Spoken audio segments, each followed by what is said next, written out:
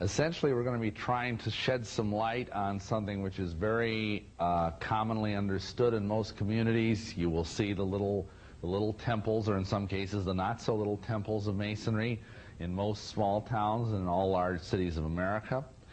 Uh, but yet, most people understand that this is a secret society. And, and what are they keeping secret?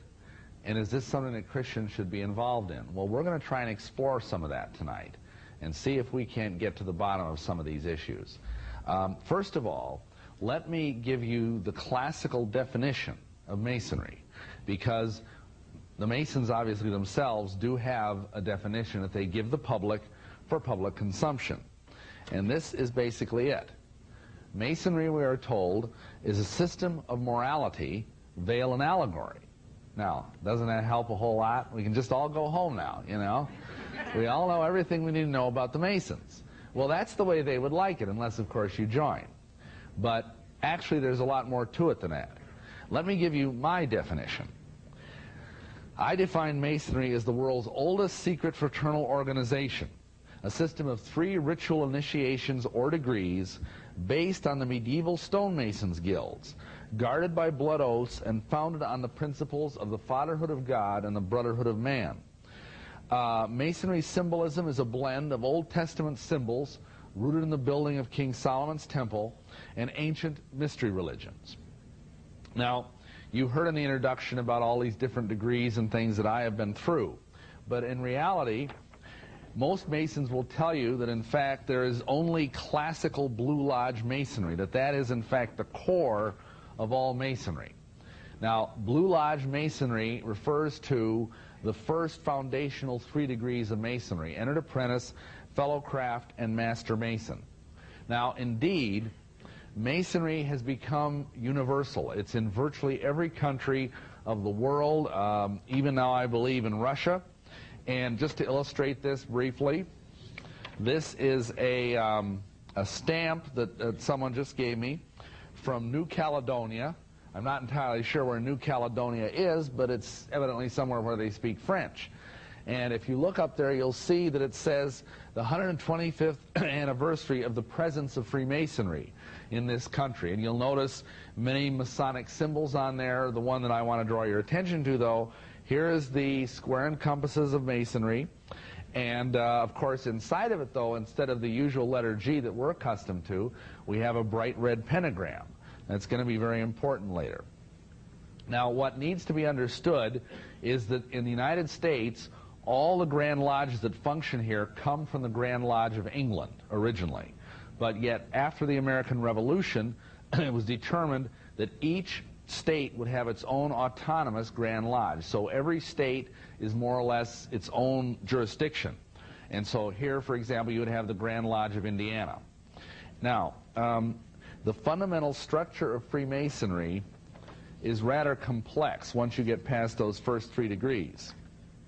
You'll see here that you have two basic uh, stair steps once you get past the Blue Lodge, which is down here. This represents the three degrees I just showed you. Then beyond that, you have, this is the Scottish Rite here, and this is the York Rite over here. Those are the two major paths that the Mason can travel. There's, there are 29 degrees here, and there are 9 degrees here. And then when you get to the top, you can go into what is called the 33rd degree if you're one of the lucky few that get to do that, and that is called uh, the uh, Grand Sovereign Inspector General degree. Additionally, Masonry has what are called auxiliary or adoptive bodies, and those are under the arch. The best known of those is the shrine. And then you also have things like the youth orders, Demolay and Rainbow, Tall Cedars of Lebanon, Daughters of the Nile, and so on.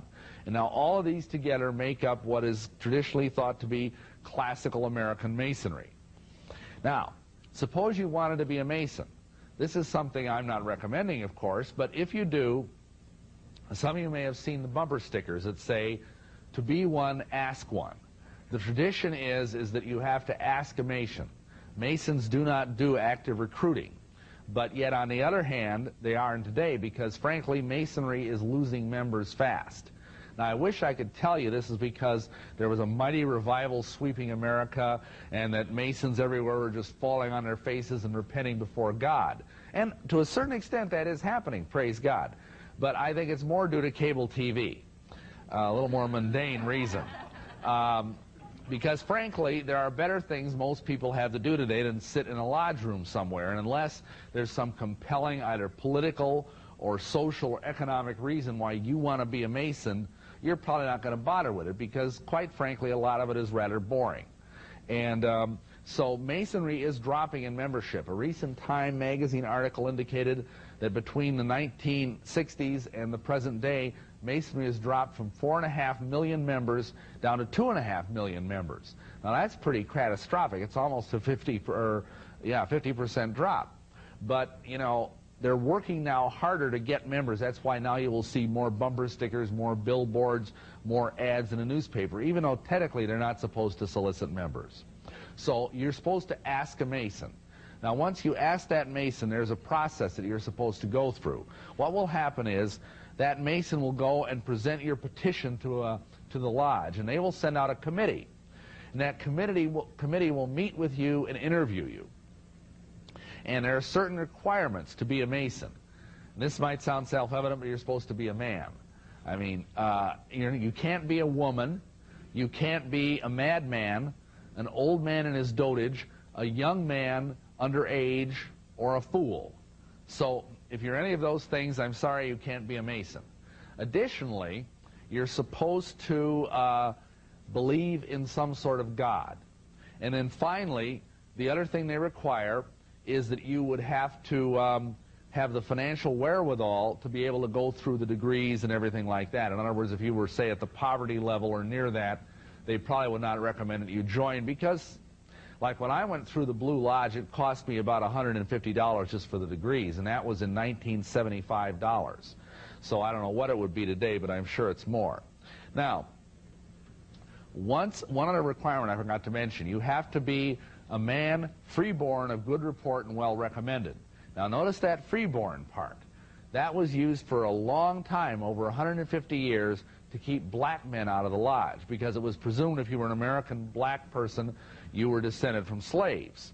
And so really up until the late 1980s when the civil rights, you know, legislation started really heating up, there were no black Masons. They had their own separate but equal branch of Masonry, which was called Prince Hall Masonry.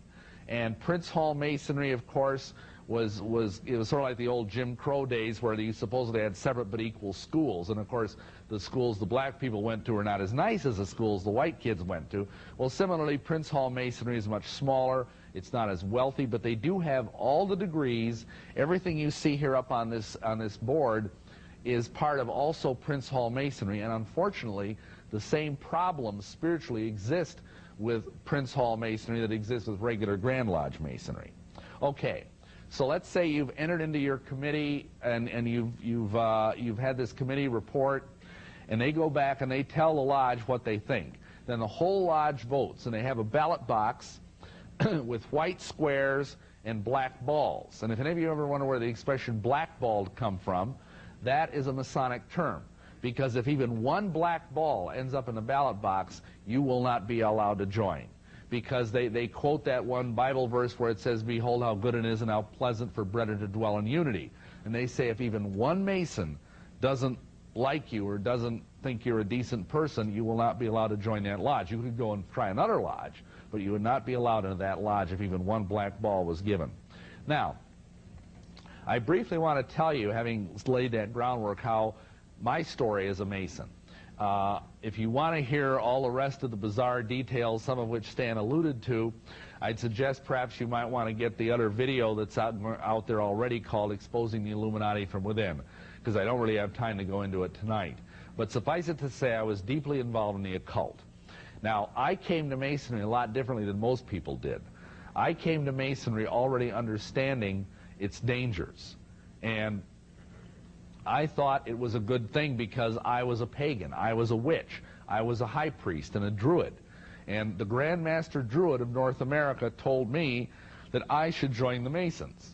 He himself was a 33rd degree Mason. Now, how's that for an endorsement for the lodge, huh, that it would be recommended by a druid. Uh, so anyhow, when I moved to Milwaukee with my wife and we were running covens all over the greater Milwaukee area, uh, it happened one of the young men we initiated into witchcraft, his father was the junior warden of the lodge in the neighborhood.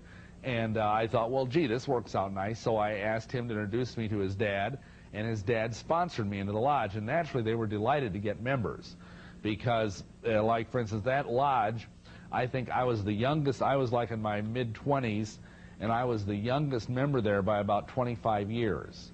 The average age, according to that Time article I mentioned earlier, the average age of a Mason right now in America is 70. And uh, in fact, later on after I joined the lodge, typically we would have six or seven Masonic funerals a year, and we'd only initiate two or three people. Now, you don't have to be a rocket scientist to figure out if that goes on for very long, you aren't going to have any lodge left. And indeed, that is the case. Many lodges have had to close due to lack of membership. But anyhow, I joined the lodge. I was um, initiated as an entered apprentice in 1975. I was uh, passed to the degree of fellow craft, I believe that same year. And in 1976, I was raised to the sublime degree of a Master Mason. Soon after that, I went through the York Rite. I tried this branch first because people were telling me that that, in fact, was the Christian branch of Mason, and we'll look at that a little bit later. And then later on, I did the Shrine. I did uh, Scottish Rite. I became a 32nd degree Mason there. And then I also went through the shrine, I, and even I was even an associate patron in the Order of the Eastern Star, so I even was in that body as well. I was very involved in Masonry. I was a real fanatic. I was probably in lodge meetings two or three nights a week. And uh, in fact, that's part of the reason we joined the Eastern Star together, is my wife said, at least that way I get to see you one night a week, because she joined as well, because that's the branch of Masonry that is also open to women. So anyway, I was very, very active in all of this. And um, then what happened was I, um, I moved back from Milwaukee, which is where all this took place. Oh, by the way, I have to show you this. This is, this is me as a Shriner. That was taken about 1980. And um, soon after this, uh, my wife wanted to move back to Dubuque for reasons that are gone into in greater length in the other video from Milwaukee, and so we moved. And because of that, I moved into a different Grand Lodge jurisdiction. And uh, along the way, a lady who was the bank officer at a bank, I'd been sending checks to the Church of Satan over the years, and one of these checks came back to me, and she'd been she'd written on the check, "I'll be praying for you in the name of Jesus," because see, uh, she figured anybody who was writing checks to the Church of Satan was probably in pretty deep spiritual doo doo. Amen. uh, anyway. Um, so here I was, I was being prayed for, didn't really care, didn't really know. And along the way, what had happened was I, I decided I joined the Mormon church for, again, reasons that are a little too complicated to go into. And so by the time we got to Dubuque, I was a Mormon. And, um, and I was still a witch, which is not all incongruous if you really understand the nature of Mormonism. Anyway, um, so as a Mormon, I got this little ad in the newspaper for a prophecy seminar. And oddly enough, it was put on by the Seventh-day Adventists. It wasn't Stan. And uh, so what happened was I thought I'd go to that seminar and see if I could draw some people into the Mormon church, because after all, we had a living prophet, we had the full light of the gospel and all of that. Well, for the first time in my life, in that prophecy seminar, I was exposed to gospel-based preaching. And I had all these questions to ask this evangelist that was doing the thing, and he had a Bible answer just like that for every single one of them. There was no way that guy, I mean, he was filleting me with the sword of the Spirit, amen? and so finally, you know, I went home that night, and I was so scared. I couldn't believe it, I because he got it through to me that all I had to do was believe in the Lord Jesus Christ and, and be saved, Acts 16.31. And I kept thinking, could it be that easy? Could it be that easy? and I fasted and I prayed because see in the Mormon church if you're in a great profound spiritual dilemma you're supposed to fast and pray which is not a bad advice in any event. And if supposedly if you are being told things that are not true the Holy Spirit is supposed to give you a stupor of mind and he will forget whatever you are supposed to do. And if it's true then the Holy Spirit is supposed to give you a burning bosom. Okay well I didn't either get heartburn or get stupid. So I didn't know what to do. And so finally I figured I've tried everything else, and I literally almost had. And so I took off my Holy Mormon underwear so there wouldn't be any static on the line. and I knelt at the foot of the bed, and I gave my heart to Jesus Christ. Praise God. Amen. That was 1984. Now, about a week later, I was still going to the lodge through all this because I, you know, my impression from being nine years in the lodge is that all these guys around me were all Protestants. And so I assumed they were all Christians. And they were Lutherans and Methodists and Baptists and all of that. And so I assumed they were all Christians. So I had gotten an invitation from this new lodge that I was about to join to go to uh, what they call a high noon luncheon. And so I went to this luncheon, and as I, this is the first time I'd ever been in a Masonic lodge since getting born again. And I walked into the building, and already it felt clammy and awful and evil. And I went down to the basement, which is where the luncheon was, and it got worse, and I felt more and more oppressed and heavier and heavier. And, and I felt the Holy Spirit speaking to me and saying, get out of here, get out of here. And I went through, and, and I, I tried to eat the lunch, but it was just like, you know, lead in my stomach. And finally, I got up even and didn't eat dessert. And you know I was serious if I skipped dessert, amen? and, and so I got out into the sunshine again. It was like, oh, I felt like I'd escaped from some profound spiritual trap. Well, later on, the Lord beginning to began to show me things about how this was really very dangerous spiritually. And I didn't have anybody tell me that Masonry was a cult. Only the Holy Spirit told me. And the first thing he showed me was something which I want to share with you out of the Bible. And if you have your Bibles, I'd like you to go with me to Ezekiel chapter 8. And in Ezekiel chapter 8, now some of you may know Ezekiel was the prophet of the exile. And um, basically, he was taken away in the Babylonian captivity and did all of his prophetic ministry in Babylon. Now in Ezekiel 8, the Lord has taken him in vision back to Jerusalem to look at the temple. And starting in verse 12, this is God speaking to Ezekiel and says, Then said he unto me, Son of man, hast thou seen what the ancients of the house of Israel do in the dark, every man in the chambers of his imagery? For they say, The Lord seeth us not, the Lord has forsaken the earth. He also said unto me, Turn thee yet again, and thou shalt see greater abominations that they do. Then he brought me to the door of the gate of the Lord's house, which was toward the north. And behold, there sat women weeping for Tammuz. Then said he unto me, Hast thou seen this, O son of man? Turn thee yet again, and thou shalt see greater abominations than these. And he brought me into the inner court of the Lord's house, and behold, at the door of the temple of the Lord, between the porch and the altar, were about twenty and five men with their backs towards the temple of the Lord, and their faces towards the east. And they worshiped the Lord toward the east. Or they worshiped the sun, excuse me, towards the east. Now, that may not seem all that riveting to you, but if you knew anything at all about Masonry, you would know that all Masonic temples are oriented, by the way, that's a Masonic term too, oriented towards the east. In other words, they, unless real estate or whatever prohibits, they essentially have an, a place so that the worshipful master and all devotions are offered facing east. Now, on the other hand, if you study Solomon's temple, which is what is being discussed there, you will see that the Solomon's temple faced west, with its back, as it were, to the east. And here were elders of Israel turning their back on the Ark of the Covenant and facing to worship the rising sun in the east. Now, the interesting thing is, is that the temple of masonry is supposed to be Solomon's temple. And yet it's 180 degrees off. And not only that, there's, there's, a, there's implicit or explicit sun worship that is done in the Masonic Lodge because we are told when the worshipful master is sitting enthroned in the east, the ritual says, as the sun rises in the east to rule and govern the day, so rises the worshipful master in the east to rule and govern his lodge. Now think of that. That is absolutely contrary to what is done in the Bible in the temple of God. And the reason why God had his temple built that way is because all around Israel were pagan nations, amen? There were nations that worshiped various pagan gods, Chemosh and, and Baal and all these other gods. And all of those were what are called solar phallic gods. They were rooted in the sun and in the worship of the male organ.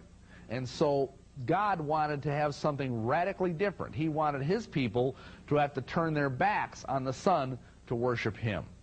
And really, that's what God asks of all of us. He asks all of us to turn our backs on the old paganism that we used to be a part of, even if we were just regular old heathens, you know, even if you weren't part of some weird cult like I was.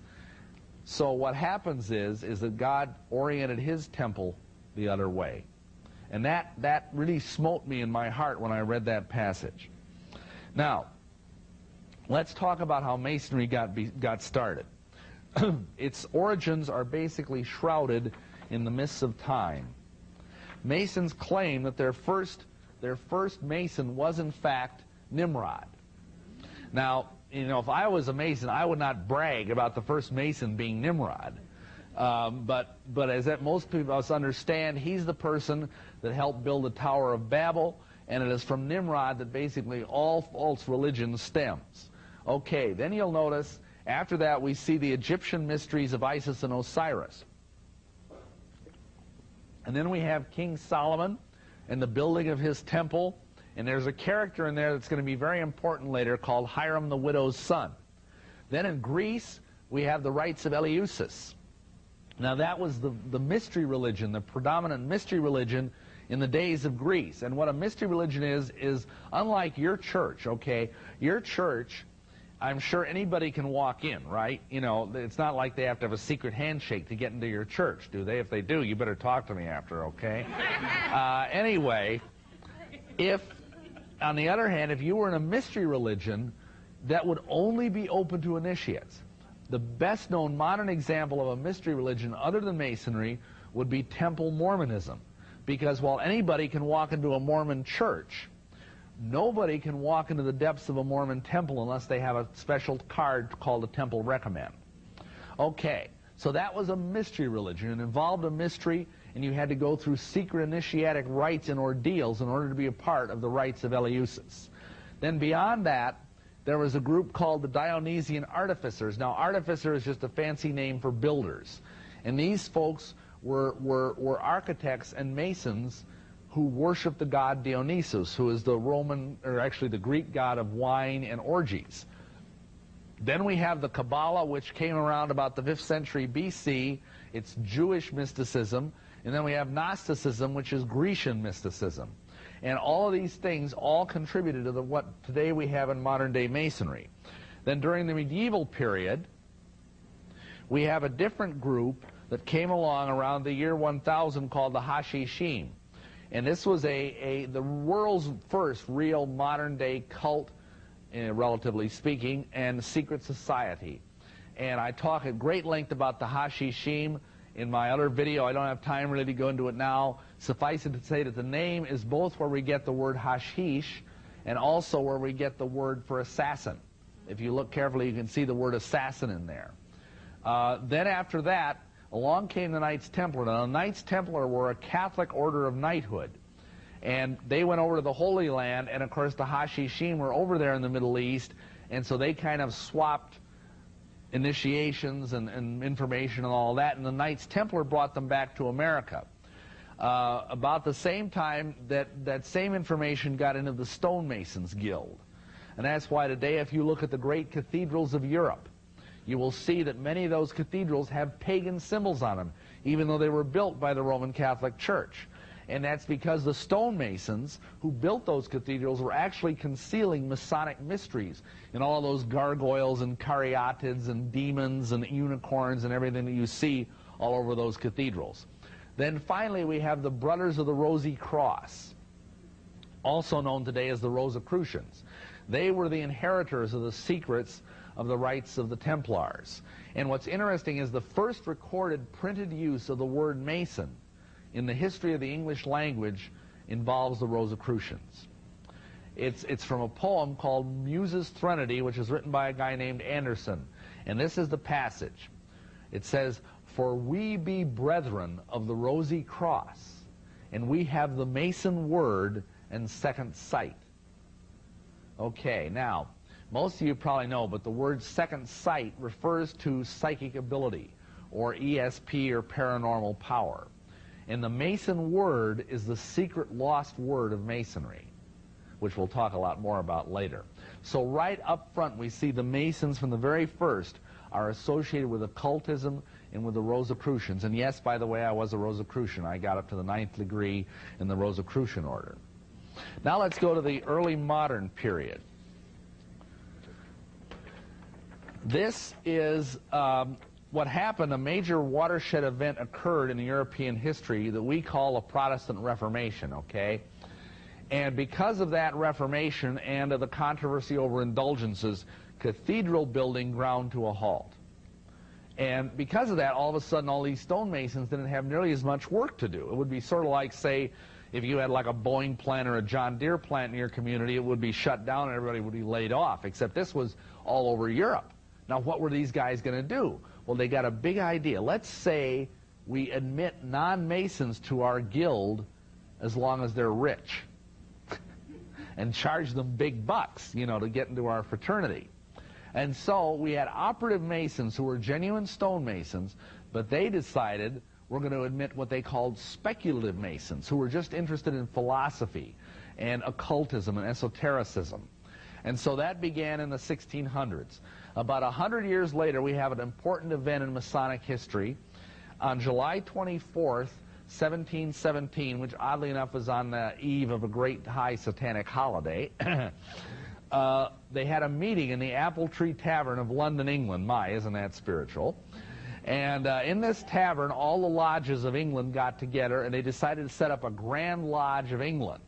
And this became what is called the Mother Lodge of all other Masonic lodges. And except for some German lodges and some French lodges, uh, basically all lodges in the world extend from this Mother Lodge in England in 1717. And all the lodges in America, for the most part, are in fact descended from that Grand Lodge. Then uh, finally, we have another group coming along in 1776 called the Illuminati Ordinand, or the Order of the Illuminati in English. And this group was started for the express purpose of infiltrating Masonry. And, and basically, because Masons are always looking for light, and we'll talk more about that in a moment, uh, it fit very well to have this illuminous degree come in there, and before the end of the 1700s, it was very hard to tell where Masonry ended and Illuminism began. And notice that date, too. They started in 1776. That's going to be very important later. Okay, then we go into the more immediately modern period.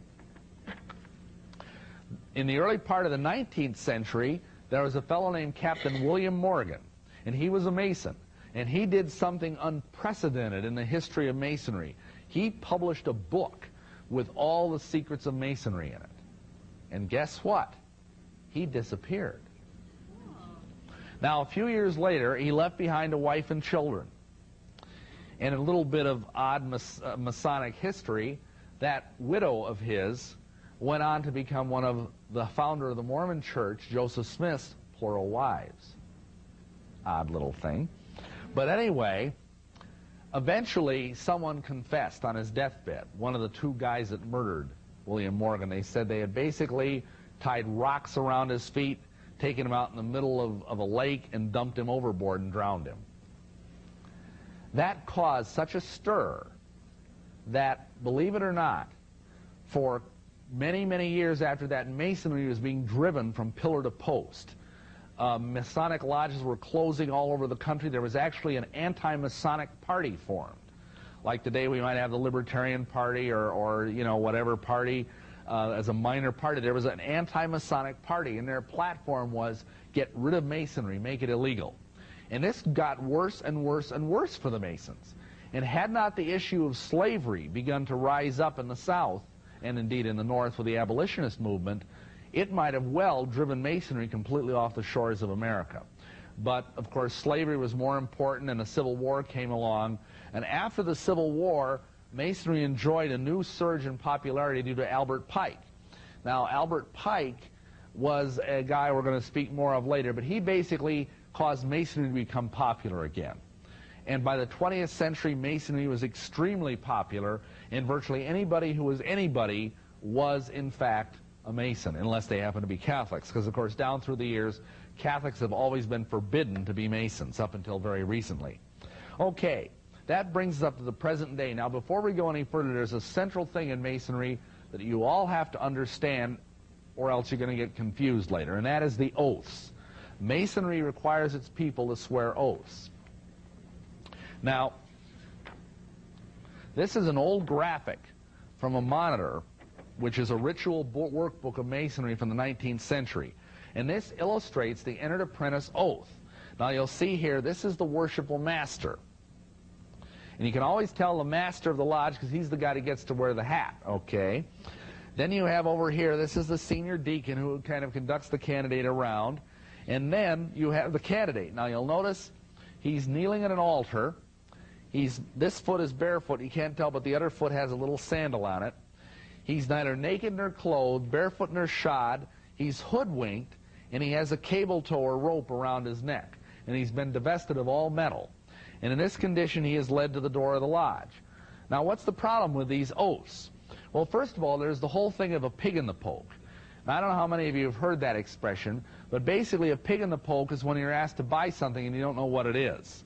Like, say, for example, if I came up to you and I said to you, okay, I got this great car, I want $15,000 for it, but it's locked in the garage and you can't see it. Give me your money. Give me the money and I'll give you the pink slip. Now, how many people would do that? I mean, not very many, you know, unless it was your dad or something who was going to sell you the car. I mean, you'd want to see the car. But yet in Masonry, you are asked to swear an oath, and you don't know what that oath is. Now, this master, he comes up to the guy, and he says, you're going to swear an oath. It's my pleasant duty to inform you that there is absolutely nothing in this oath will, that will conflict with your duty to God, your country, your neighbor, or yourself. Having been said this, if you wish to proceed, say, I will, and repeat after me. Now, first of all, that's a bald-faced lie. There's a lot of stuff in that oath that conflicts with those things. But of course, the guy doesn't know it. Now, on top of that, this guy is kneeling blindfolded. He doesn't know what's around him. For all he knows, there might be 25 wackos in black robes with daggers waiting to pounce on him or something because the Masons try and scare the guy. I mean, think kind of like fraternities or initiation ceremonies, you know. They try to get the guy nervous and everything, so he doesn't really know what's going on. So basically, he says, okay, I'll go along with it. Uh, now, his hands are on the Bible here, you'll notice. They're resting on the Holy Bible square and compass. And in this position, he gets to take the oath. Now, these oaths are doozies, and I'm not going to bore you because the, the shortest oath takes about five minutes to recite. So instead, I'll just give you the best part. Okay? These are some examples. Now, say, for example, you were taking the entered apprentice oath. The end of that oath, and I'm going to recite this word for word, you say, All this I most solemnly and sincerely promise and swear, with a firm and steadfast purpose to keep and perform the same, binding myself under no less a penalty than that of having my throat cut across, my tongue torn out by its roots and buried in the sands of the sea, where the tide ebbs and flows twice in 24 hours, should I ever knowingly violate my entered apprentice obligation, so help me God, and keep me steadfast in the due performance of the same. Now, think of that so help me God. And then the, the worshipful master says, in token of your sincerity, kiss the book which is before you, which is the Holy Bible. You've, you've sworn an oath that you'll have your throat cut, your tongue torn out by its roots, and then you swear, swear it by saying, so help me God, and you kiss the Bible. Now that would stand up in any court of law, wouldn't it? Then the second degree oath. You swear that you will have your heart plucked out of your body and placed on the highest pinnacle of the temple, there to be devoured by the, by the vultures of the air. Uh, that's usually fatal, wouldn't you say? then you have the third degree. The third degree oath, you swear that you would have your body severed in twain, your bowels taken thence, and burned to ashes, the ashes scattered to the four winds of heaven, that no more remembrance should be had of so vile a wretch as I should be, to have thus knowingly violated my master mason obligation, so help me God and keep me steadfast, blah, blah, blah. Again, very, very serious. Now, for example, here's an even better one. In the uh, degree, the seventh degree of the York Rite, you swear that you would have your, your skull, the top of your skull, smote off and your brain exposed to the rays of the noonday sun. I tell people, this is your brain, this is your brain on masonry. You know, so, I mean, these are nasty things. Now, can you imagine your pastor swearing these oaths? Can you imagine your husband swearing these oaths? Can you imagine your deacons swearing these oaths? But countless of them do every single day. This is very common in Christian churches. Okay. Now, then there's the function of the enlightenment. What happens here is you're supposed to be enlightened. And once you've said all this horrible, bloodthirsty oath, the master comes down and he says, My brother, in your current situation, what do you most desire? Okay, now, this is a true story, supposedly. Happened in a Grand Lodge in Milwaukee. There's, it, was, it was an initiation that was being taken, done in June. Very hot night. There's this really heavy set guy, just incredibly overweight. And by the time he, because you're about 15 minutes into the ceremony by then, and he was sweating and sweating and sweating and sweating, and his blue jammies that they put you in were just soaked with sweat. And he said, when the worship master comes down, he says, My brother, in your present position, what do you most desire? And now the deacon who's standing there, you saw that a moment ago, he's supposed to whisper in your ear, light. But he was kind of hot, and he was sort of, his mind was sort of wandering. And so the master says, what do you most desire? And the guy says, a beer. and and the deacon just freaks out, you know, and all the lodge goes, you know, like sacrilege or something. And so the, the deacon bends down and he whispers in the ear, no, light. The guy says, I don't care, a light beer, a dark beer, just give me a beer. so Masons are looking for light, okay? And when you go through the second degree, you ask for more light. And When you go to the third degree, you ask for further light. So, so here you're going to get light, okay? So the master says to all the masons, he says, My brethren, stretch forth your hands and assist me in bringing our newfound brother to light. And then what happens is he says, he starts reading from Genesis. And he goes, In the beginning, God created the heavens and the earth. And he gets to the place where it says, and God said, Let there be light.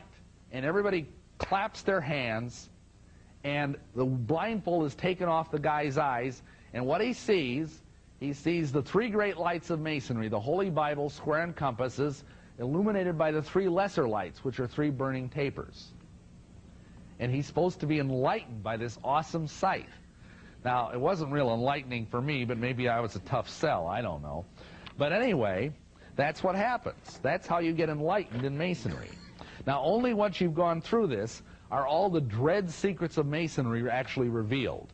And you know what those dread secrets are? They're basically secret handshakes and passwords.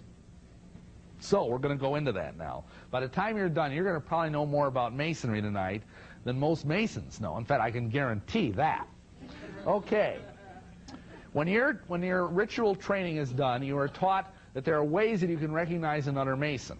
And those ways are basically signs, tokens, words, and points of your entrance. Now, what do we mean by that? Well, first of all, let's talk about signs. Signs are various weird cryptic gestures. The only one you're ever going to see out in public is the Grand Masonic Hailing Sign of Distress. But I'm just going to try and do a couple of the other ones just so you get the idea all of the signs are based in the idea of the way your hands are placed when you take the oath. So, for example, I'm going to right now do the entered apprentice sign. This is the due guard of the sign because one hand is under the Bible and one hand is over the Bible for the entered apprentice degree. This is the actual sign, and you'll notice it reflects the penalty that your throat is being cut. Okay, now, the Master Mason degree, this is the due guard, and this is the sign because your body is severed in twain. Okay? Now, the, the Grand Masonic Hailing Sign of Distress is a little more complicated. And I need to explain how this works. When you take your third degree oath, you promise that if you ever see a Mason giving the Grand Masonic Hailing Sign of Distress or the, hear the words that are part of that sign spoken, you must fly to the aid of that Mason if there is a greater likelihood of your saving his life than of losing your own. Okay? And this is this actually can be very serious sometimes because there are reported cases like say for instance in World War I a German U-boat commander has serviced and was about to fire upon a United States frigate. but he looked through the periscope and he saw the captain on deck giving the Grand Masonic hailing sign of distress, and so he didn't fire upon the ship. There are many, many stories told, usually from World War II, of where American and German soldiers would be on a face down, and they were both Masons, and one or the other would give the Grand Masonic hailing sign of distress, and they wouldn't shoot one another because they were brother Masons. And that brotherhood, notice this, transcends national loyalty. It transcends the oath you take as a soldier in the United States Army. Stuff like this. Kind of interesting. So anyhow, here's what happens with the Grand Masonic hailing sign of distress. You start out like this. Okay? Now let's say I was walking I was a mason and I was walking down a dark alley and I was being mugged by a crazed midget. Okay? Now, this is the sign that I would give. Now, handily enough, this looks just like what you would do if you were being held up, right? But actually, this is much older. I mean, this isn't just since the 19th century. You start out like this, and, and then gradually, you bring your hands down into this position. And then finally, your hands end up basically in the same gesture as you would be making if you were a doing the sign of a master mason. Now, but this all kind of flows together, and I'm going to try and do it for you as well as I can. There are also words that go with this, okay? And here's how it goes. You go, O Lord, my God, is there no help for the widow's son? So, O Lord, my God, is there no help for the widow's son? And if you were a Mason and you heard those words spoken like in a dark alley or when you were out walking at night or something, you would be obligated by an oath to go and help that guy. What's interesting, another little bit of, of Masonic history, is that Joseph Smith, the founder of the Mormon Church, was a Mason. And when he was being shot by a mob in Carthage jail in Carthage, Illinois, he, he was at a window trying to kind of climb out of the jail because people were firing at him from within the jail, and people were also firing at him from outside the jail. Supposedly, his last words were, my Lord and my God, according to the Mormon church. But according to eyewitnesses, they were, my Lord, or, I'm sorry, O Lord my God, is there no help for the widow's son? And what's interesting even further is that a lot of people have speculated that many of the fingers that were on those triggers shooting Joseph Smith had Masonic rings on them. Because he had stolen the secrets of Masonry and run off and started his own Masonic temple, which is now called the Mormon Temple, because all the secrets that are inside the Mormon Temple are just you know, warmed over masonry. That's all it is. Okay. Then, next we'll go to tokens. And what do we mean by tokens? Well, these are the secret handshakes. And this is the way Masons may know one another in the dark as well as the light. Now, here's an example. This is the, the pass grip of an entered apprentice. And how you do it is you make a pressure on the first knuckle with your thumb. Then the grip of an entered apprentice, this is first degree, is to have a pressure in the hollow between the two knuckles. Then second degree is pressure on the second knuckle. The grip of second degree is the hollow of the second and third knuckle. The third degree pass grip is the third knuckle. Then we have this this is the third degree grip, which is called the strong grip of the lion's paw or the grip of the lion of the tribe of Judah or a master mason grip.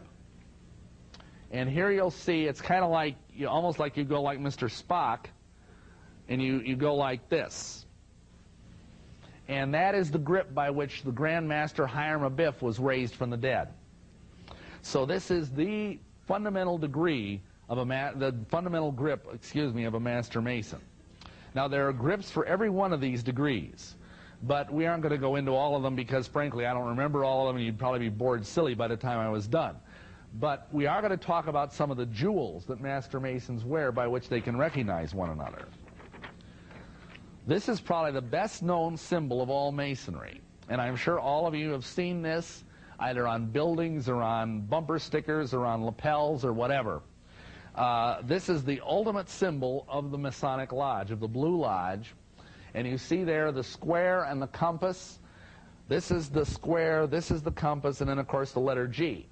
Now, if you ask a Mason, what does that mean? What's that G stand for? He might say, I can't tell you, it's a secret. Or if he's being very, very forthcoming, he might say, well, it stands for geometry. Or he might even say, it stands for God. However, if you read the books that are in the Mason's library, and every Mason has access to these books, you will find out that this G actually stands for the principle of generativity, which is just a big word for the power of human beings to reproduce themselves. And that makes sense because if you read in those same books, you'll discover that the square and compasses symbolize the male and female reproductive organs. So that's what this actually symbolizes. Isn't that spiritual? Now, I'm going to show you a very secret symbol in Masonry that most of you, if you've seen it, you probably never knew what it meant.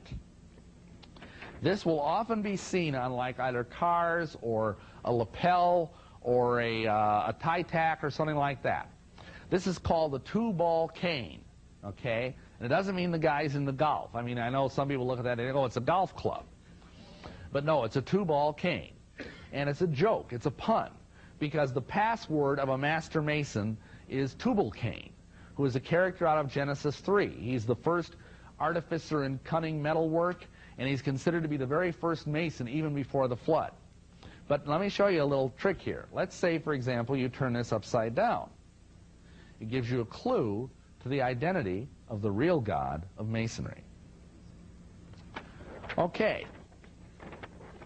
Then another thing that's very common, I'm sure some of you have seen these, are the wearing of rings. Masons will often wear rings or other jewelry to let other Masons know that they are in fact Masons. There's not a lot more I can say about that, but those are some typical Masonic rings. Now this is a symbol which is out of the uh, York Rite fourth degree. Now, I apologize for how weird this symbol looks. I tried to take, you know, Stan was talking about how hard it is, you know, spiritual warfare, putting together one of these talks. I had to take five or six pictures of this to get one that looked this good. And it doesn't look good at all, I know, but I apologize for that. This is the sign of the Mark Master degree. And you'll notice, well, you won't notice because you can't see it, but around this circle here are letters. HTKS, STKS.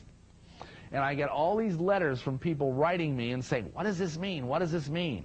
Well, here's the big secret. This is the stamp of Hiram Abiff, okay? This circle that you see in the center of this, um, of this uh, odd-shaped thing. And it says, base, those stand for Hiram the widow's son sent to King Solomon. So that's what those words, those letters mean, those initials. Now you'll notice it has an odd shape. And that's because this is a stone which the builders rejected that becomes the headstone of the corner. Again, another place where they take the glory away from Jesus and apply it to Hiram Abiff. But what the story behind this is, is supposedly after Hiram Abiff was killed, and we'll get into why he was killed later, um, they found this stone laying in the rubble of the temple when it was about to be completed. And they looked at it and they said, this stone isn't true. By that they mean the angles are wrong. It's not right angles. And they said, this stone is worthless. And they threw it away. The stone which the builders rejected, blah, blah, blah. Okay. So later on they finish the temple and they're putting the arch up.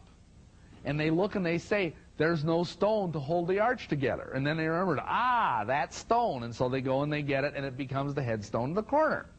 And that's the whole point between the mark, behind the Mark Master degree. Okay. Now this is another part of the York Rite which you'll see. This is the commandery. Uh, the Knight Templar commandery. And you'll notice the motto there is in hoc signo vinces. That's Latin. It means in this sign conquer.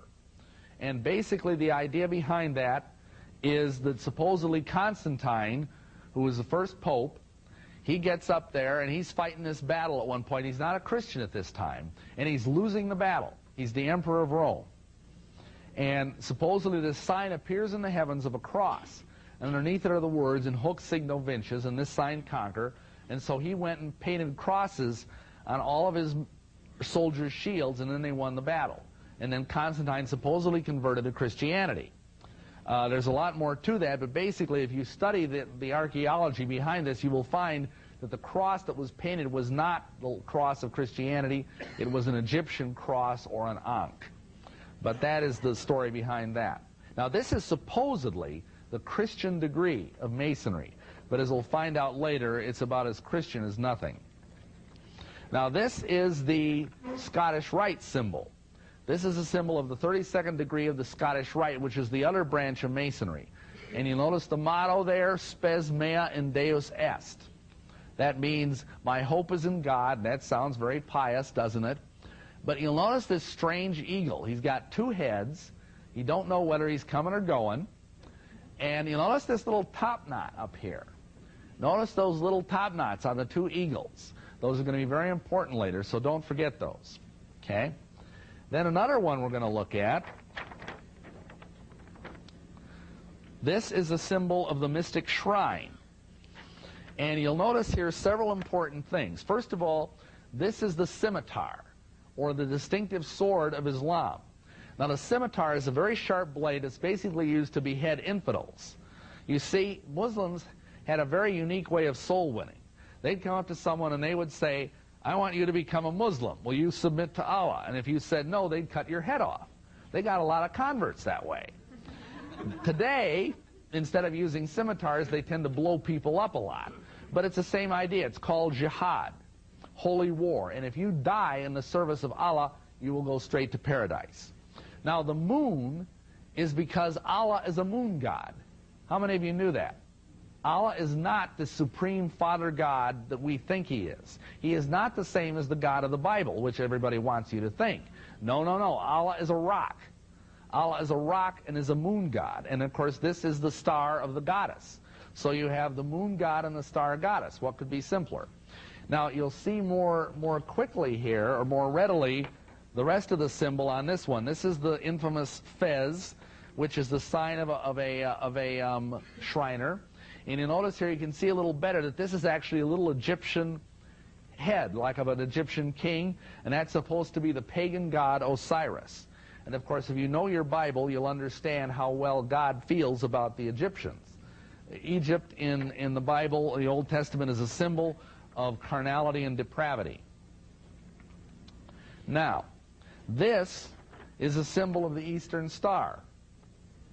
And you'll notice that it is above other things, and we're going to look at this a lot more closely later, but for now, I'll just point out that it looks very much like a pentagram, which is a symbol of witchcraft, and it's turned upside down, meaning the one point is pointed downward, and that is uniquely a symbol of Satanism.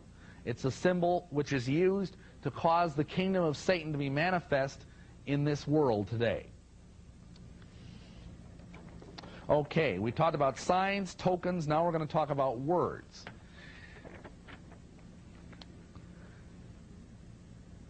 These are the secret passwords of the three first degrees. The password for the entered apprentice degree is Boaz, for second degree is Jachin, and for third degree is Tubal Cain. Now, we'll talk about the, the main word of the Masons later. But for now, what I want to go into is some other ways that Masons might identify each other. Let's say, for example, I heard that there was a Mason running a store downtown. It was like, say, a jewelry store or something and he gave discounts if he knew you were a brother Mason. So I would walk in there, and I would say something like this. I'd talk to the manager, and I'd say, um, I see you're a traveling man. And he would say, yes, I travel from west to east and from east to west again. And you would say, in search of what? And he would say, in search of that which was lost. And then you would know that you were both Masons, and you'd get the discount.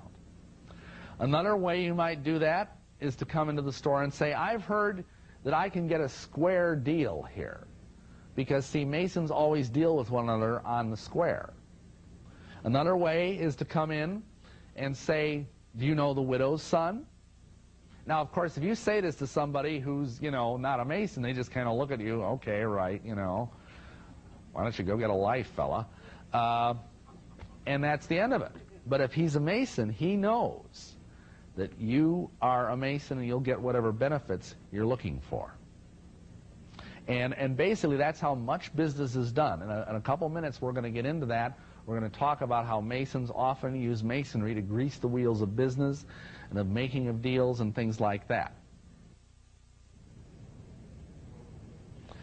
Okay, we've just been talking about the signs, the tokens, the words, the points of our entrance. The last one is probably the hardest to understand just from the way the term is, but points of your entrance is the way that a Mason stands, the way he approaches the altar in the east. And uh, if you look, what you see up on the screen right now is the way an entered apprentice would approach the east. He has the heel of his right foot into the hollow of his left at right angles to one another. And that is a sign of an entered apprentice. Now, understand something. If I were to stand in a courtroom before a judge who was a Mason and put my feet in this way, he would know that I was at least an entered apprentice, an entered apprentice Mason. And he would be required by his oath to give me pre preferential treatment over my adversary in the courtroom. Now, this is the way a master mason does the same thing. Now here you'll notice the, the feet are at right angles to each other, the heels touching together. And this is the way a master mason would stand and approach the altar. And again, the same thing applies. If this person were to go into a court or even like a job interview perhaps and want to let people know that he was a mason, he might stand this way and not have to say a word.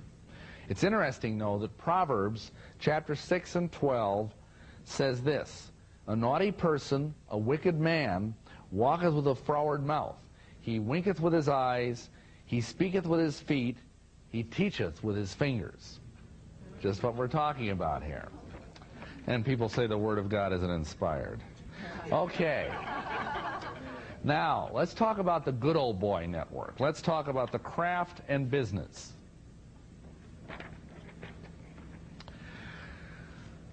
Masonry has been around a long time and it has been used as a way to get ahead in mason in, in business for a long time. Uh, masonry began with the stonemason guild, and may surprise you to learn that it was just like, for example, the uh, say the carpenters union that we have today, or the plumbers union, or even the stonemasons union, except for one difference. Back in the Middle Ages, nobody could read.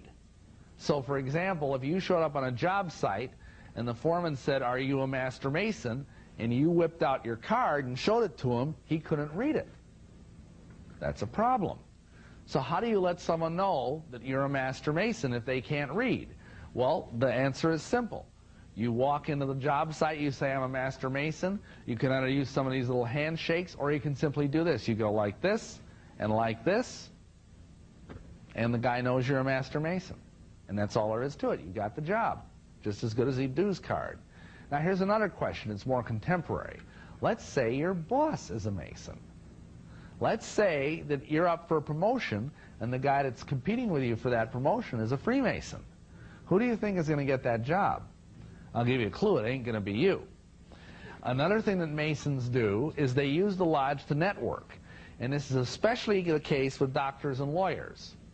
Because doctors and lawyers, it used to be their codes of ethics would not allow them to advertise. I know all of you are probably sick of seeing commercials for lawyers now. But, you know, back in my day, when I was, say, maybe 20, 25 years old, lawyers were not allowed to advertise. And so the only way they could advertise was through the lodge or through similar fraternal organizations. They would develop networks, and that's how they would get referrals. So then we have the whole thing of discounts. I've already alluded to that, that, for example, you can um, walk into a store, and if you're a Mason, you say certain little funny words, and they'll give you a discount. And then, of course, the question becomes, how many large corporations are being run today by Masons? Many, many of them. Just one example. How many of you know that Dave Thomas, the guy that owns Wendy's, he's a 33rd degree Mason? Might want to rethink where you buy your hamburgers. Uh, Anyway, and it's a shame because I always kind of like that guy. Anyhow, then we've got the, uh, the lodge and the law. This is even getting more sinister here, folks. Um, because of what I just mentioned, this whole issue of how lawyers used to build clients, there's always been a close association between the lodge and the law. Large numbers of lawyers and judges are Masons. In fact, in the old days, almost all Masons were, almost all lawyers were Masons. That's a little bit less true today, but especially obviously if you're a female lawyer, you're not a Mason. But many judges and many lawyers are Masons. Additionally, throughout Europe and America, a disproportionate number of law enforcement people are Masons. In London, it was essentially required that one be a Mason to advance in Scotland Yard or the Metropolitan Police. Untold hundreds of sheriffs in this country and police chiefs are Masons. J. Edgar Hoover, for example, was a 33rd degree Mason. This left a solid Masonic stamp on the FBI, which persists to this day. Now, all of this sounds only vaguely disturbing, but for one thing, and that is the content of the oaths that are given in Masonry.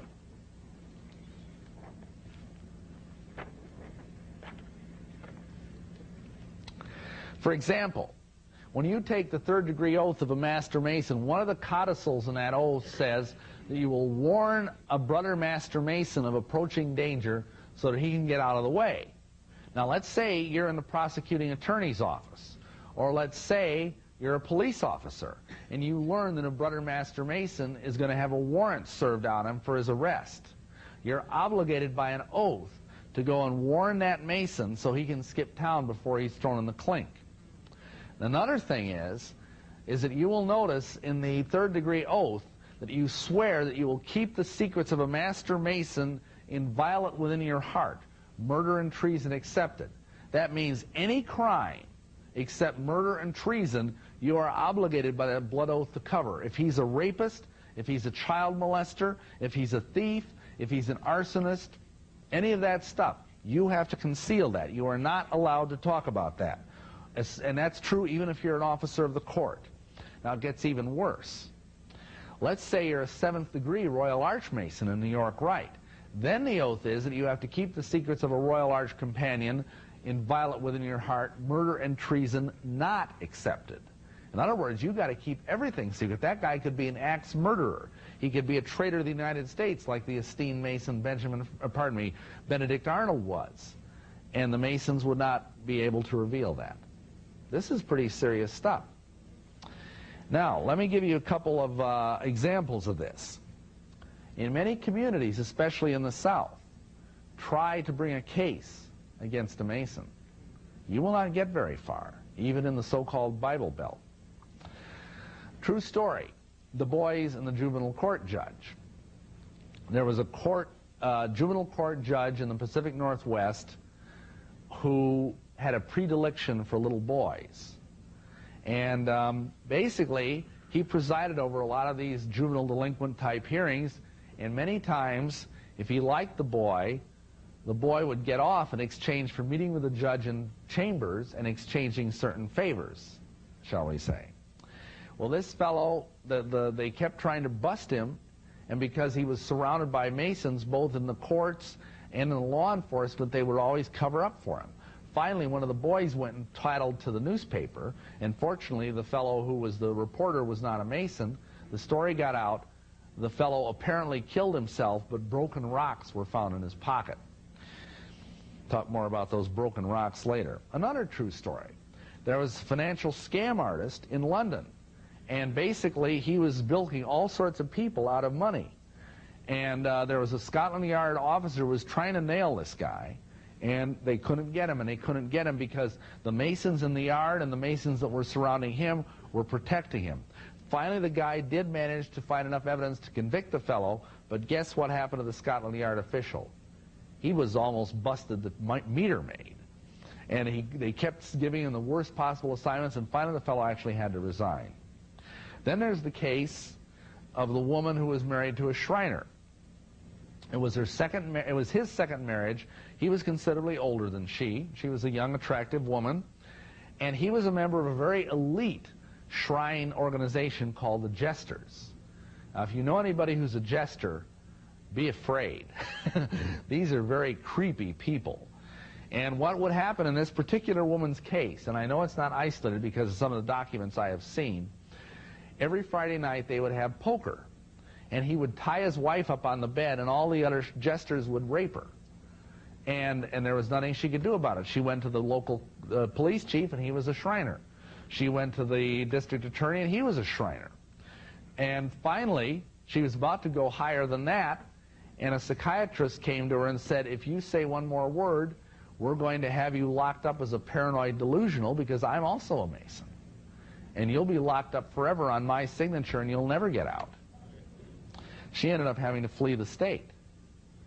These are examples of how Masons can cause a miscarriage of justice. But here is probably the most celebrated example of this in the history of the West. Jack the Ripper, a Freemason? The answer to that question is yes, one way or another. Let me explain. For those of you that may not know, Jack the Ripper is probably the, uh, the Western world's first known serial killer. He murdered eight prostitutes in Whitechapel district of London in the year 1888, and he had the whole city of London terrified. This was Victorian England, mind you. And nothing like this had ever happened in the history of England that anybody knew of. And here's what happened. They, they mounted a huge investigation. The man in charge of the investigation was Police Commissioner Warren, who was a Freemason. At that time, the Prime Minister of England, as is often the case, was a Freemason. The heir presumptive to the throne of England, the Duke of Clarence, was also a Mason. And the physician to the royal court at the time, Dr. Gull, was a Freemason. Now, here's what actually happened.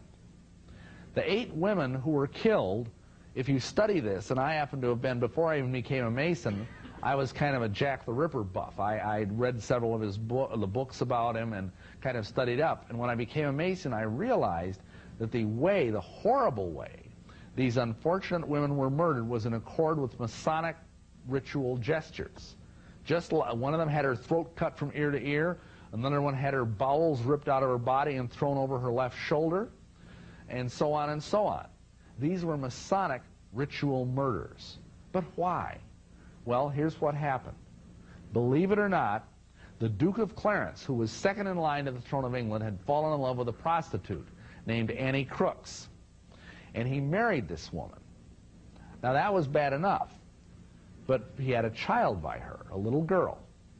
And this woman, horror of horrors, was a Roman Catholic.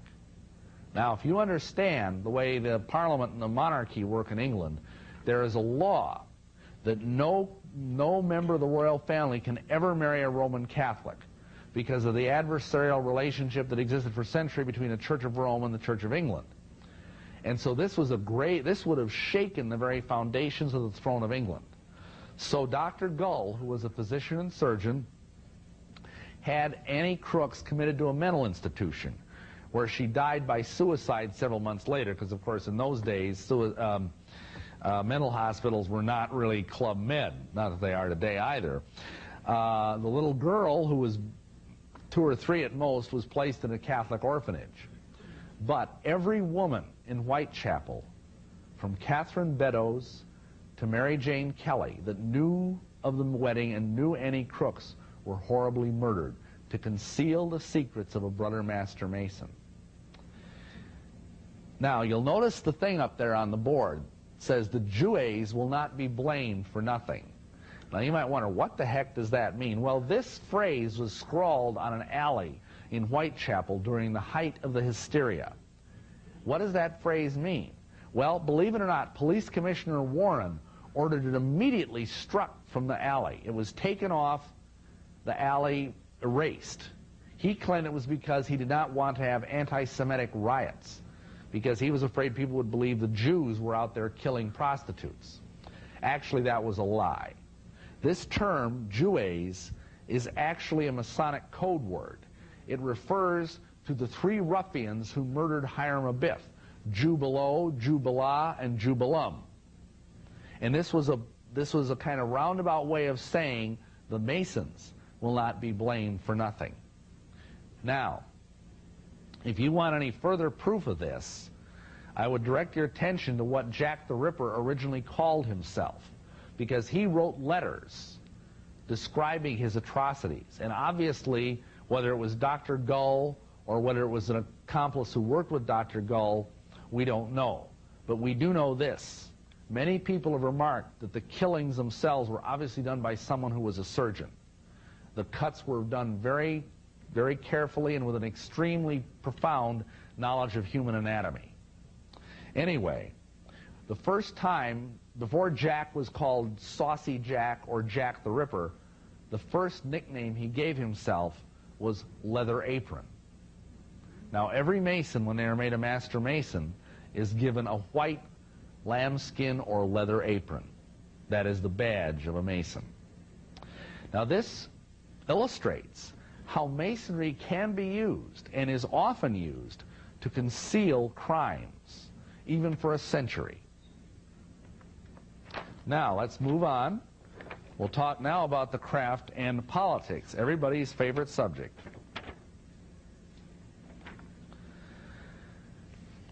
Most politicians, as everybody has probably observed, tend to be lawyers. As we've already discussed, most lawyers are Masons. Therefore, a lot of politicians are Masons. Many heads of state are Masons. At least 17 presidents of the United States have been Freemasons. Let's talk about the Revolutionary War period. I've already mentioned that Benjamin Franklin was a Mason. Pardon me, yeah, Franklin, Benedict Arnold, Paul Revere, George Washington, possibly Jefferson. We don't know that for sure. John Adams was a strong anti-Mason, though. Now, let me talk for a moment about Washington, though.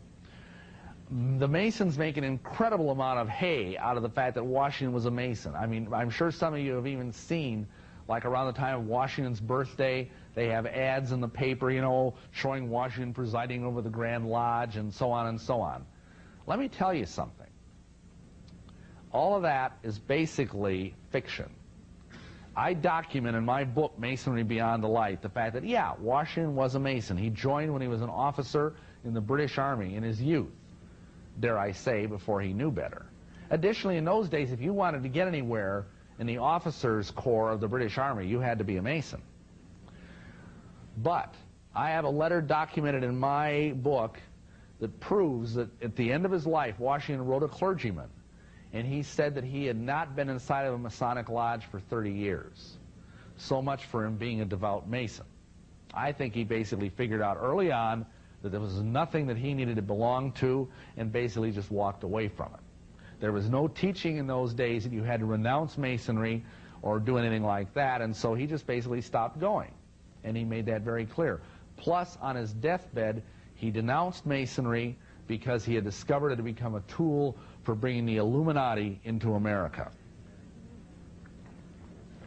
How about 20th century politics?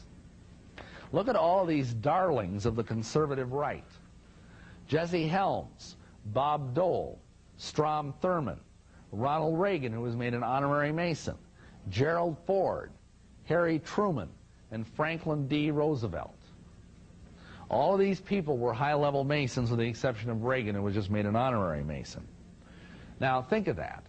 All these people, except Reagan, have taken Holy Communion out of a human skull, because that's what's involved in being a 33rd degree Mason. And you would not believe the oath that these people have to take. They swear that they will work for the destruction of law, religion, and government.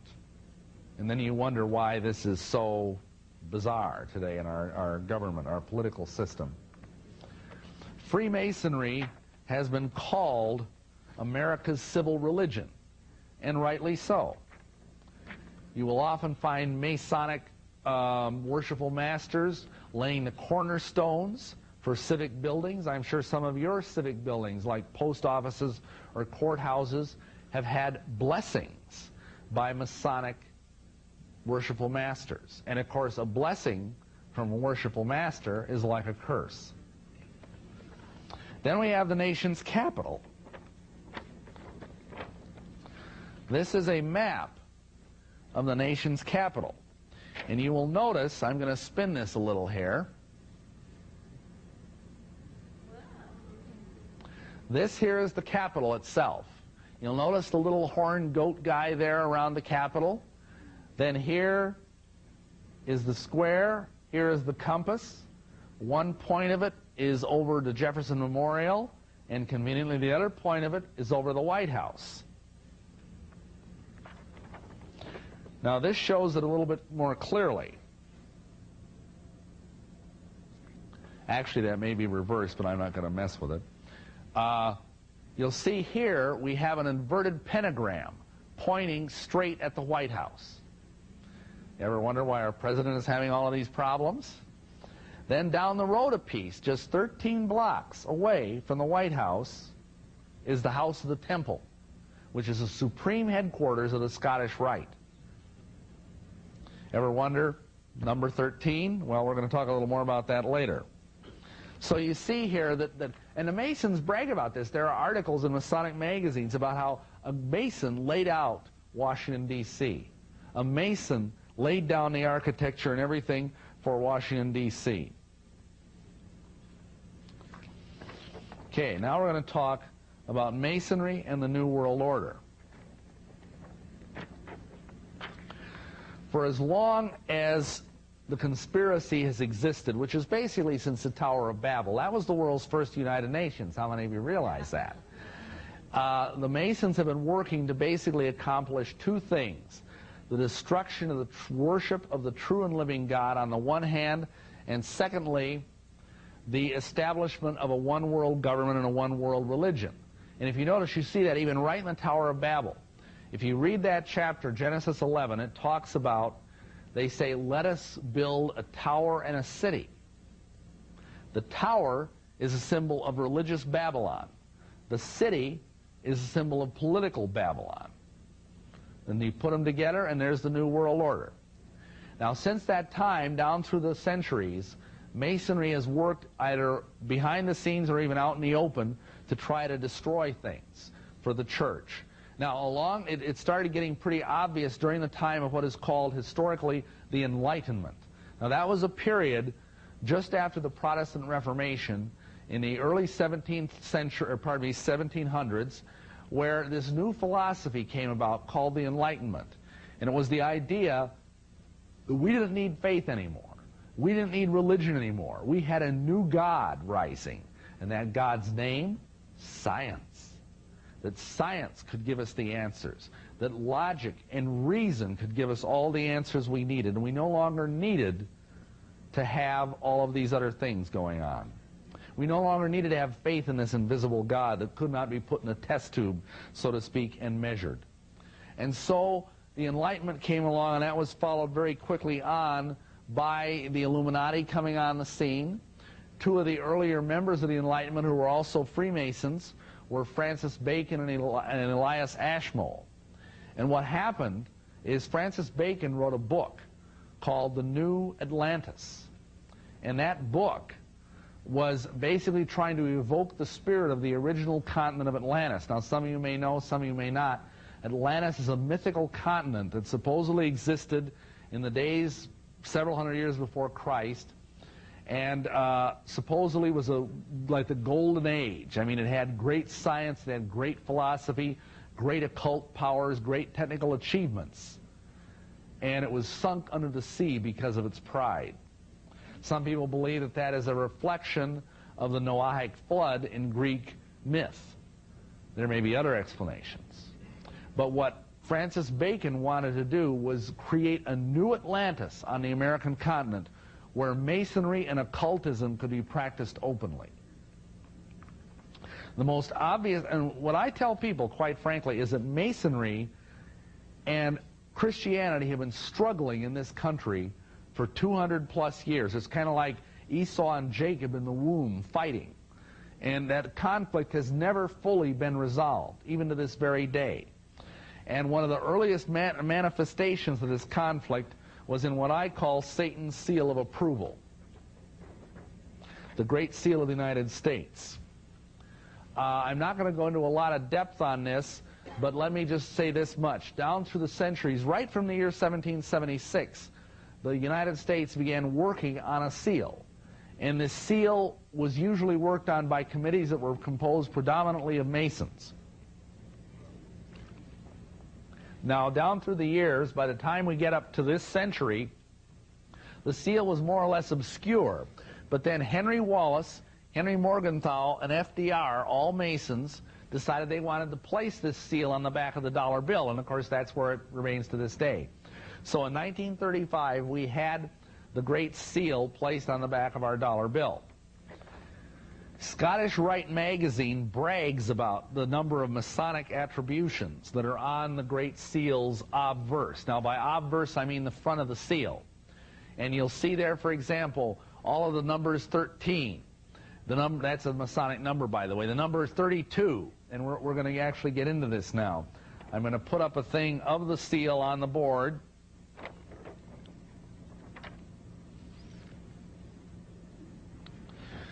Several interesting coincidences, if you believe in such things. For example, there are 32 feathers in this wing for the 32 degrees of the Scottish Rite. There are 33 feathers in this wing for the 33rd degree. Down below, there are nine feathers in the tail of the bird, contrary to what the Scottish Rite magazine, obviously in addition to being spiritually deceived, Masons can't count, there are nine feathers in this, in this tail, which represents the nine degrees of the York Rite. What could be simpler? So, then look at that eagle. What's the deal with the eagle? Well, we know it's a noble bird, but how many of you realize that for years, when this, when this seal was first being uh, created, Benjamin Franklin, who was both an Illuminist and a Satan worshiper, sorry to tell you, and a Freemason, uh, he lobbied for it being a phoenix instead of an eagle. He wanted this bird to be a phoenix. Now, what the heck is a phoenix? Well, the phoenix is an occult mythological bird that goes back to ancient Egypt, and it was called the Bennu bird. And the way it, the way it, what was distinctive about this bird is that every so often it would immolate itself. It would set itself on fire and be reduced to ashes. And then from the ashes it would spring, reborn, as a new, entirely new bird. And of course, this was a symbol of death and resurrection, which is the core of the mysteries of Masonry. Now, I want to show you something. Remember, I taught, told you to pay attention to that top knot on the top of the eagles on the Scottish Rite symbol? Well, if you look at this very carefully on, on let me see, it would be your, it would be this bird here. This is the way Franklin wanted the eagle to look. Now, this is the way the eagle actually looks. You'll notice that this eagle has a little top knot that is not really characteristic of the normal bird. Now, what I'm going to show you next is a Egyptian hieroglyph of the phoenix in human form. Notice what he's got on his head, a little top knot. This is again another indication of the occult level to which the seal sinks in terms of its symbolism.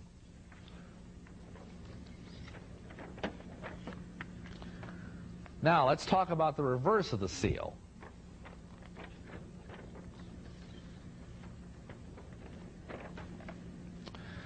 First of all, if you look at the ranks of the pyramid on the seal, they relate to the satanic hierarchy. The unfinished pyramid in, in both architecture and in geometry is called a frustum. And one side of that pyramid would be called a trapezoid.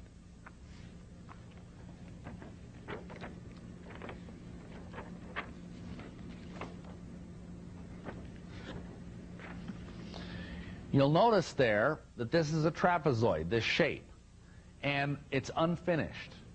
You'll notice also that there are 13 ranks here. And then look at the all-seeing eye up there at the top. That all-seeing eye is not God, brothers and sisters. Uh, Masons would like you to believe that it is. This is their God, but it ain't my God. I'm sorry. Uh, if you study that, that symbol, that eye is actually called an Utchat eye or a wedjat eye, and it's a symbol of the all-seeing eye of Osiris or Horus. See, my God is not a cyclops. He has two eyes, not just one eye. And um, now down at the bottom here, you'll notice this interesting Roman numeral. If you add that up in the Roman numeral system, it comes up to 1776, which seems appropriate. You'll notice that above it says Annuit us, and then down below it says Novus Ordo Seclorum. That means this year begins the New World Order. Now, you might think, oh, that's okay, you know, that's America, right? We're the New World Order. No. America did not begin in 1776. Think about it. There were no, we hadn't even won the war yet. There were no Articles of Confederation. There was no Constitution. There were no states. This does not refer to America, my friends. On May 1st, 1776, the Illuminati was formed. That is the New World Order. not America, I'm afraid. They just want to plant the New World Order here. But that is not the New World Order. Now I'm going to put up briefly, this is, this is how that pyramid can be decoded in terms of the satanic hierarchy. And you'll notice down here at the bottom are the conventional degrees of the York and Scottish Rite, all the way up to the Supreme Council of Grand Sovereign Inspectors General. Then above it we have the various satanic orders, some of which, in fact I'm sad to say, most of which I was a member of, all the way up to the nine unknown men, the seven, and then the great architect of the universe himself, Lucifer, the limitless light of nothingness. That's his title. And I think it's rather appropriate, actually. Anyway, and that is what that seal means. That is what that all-seeing eye refers to. That is a symbol, ultimately, of Lucifer. Now, let's talk about this conspiracy in a little more detail and depth.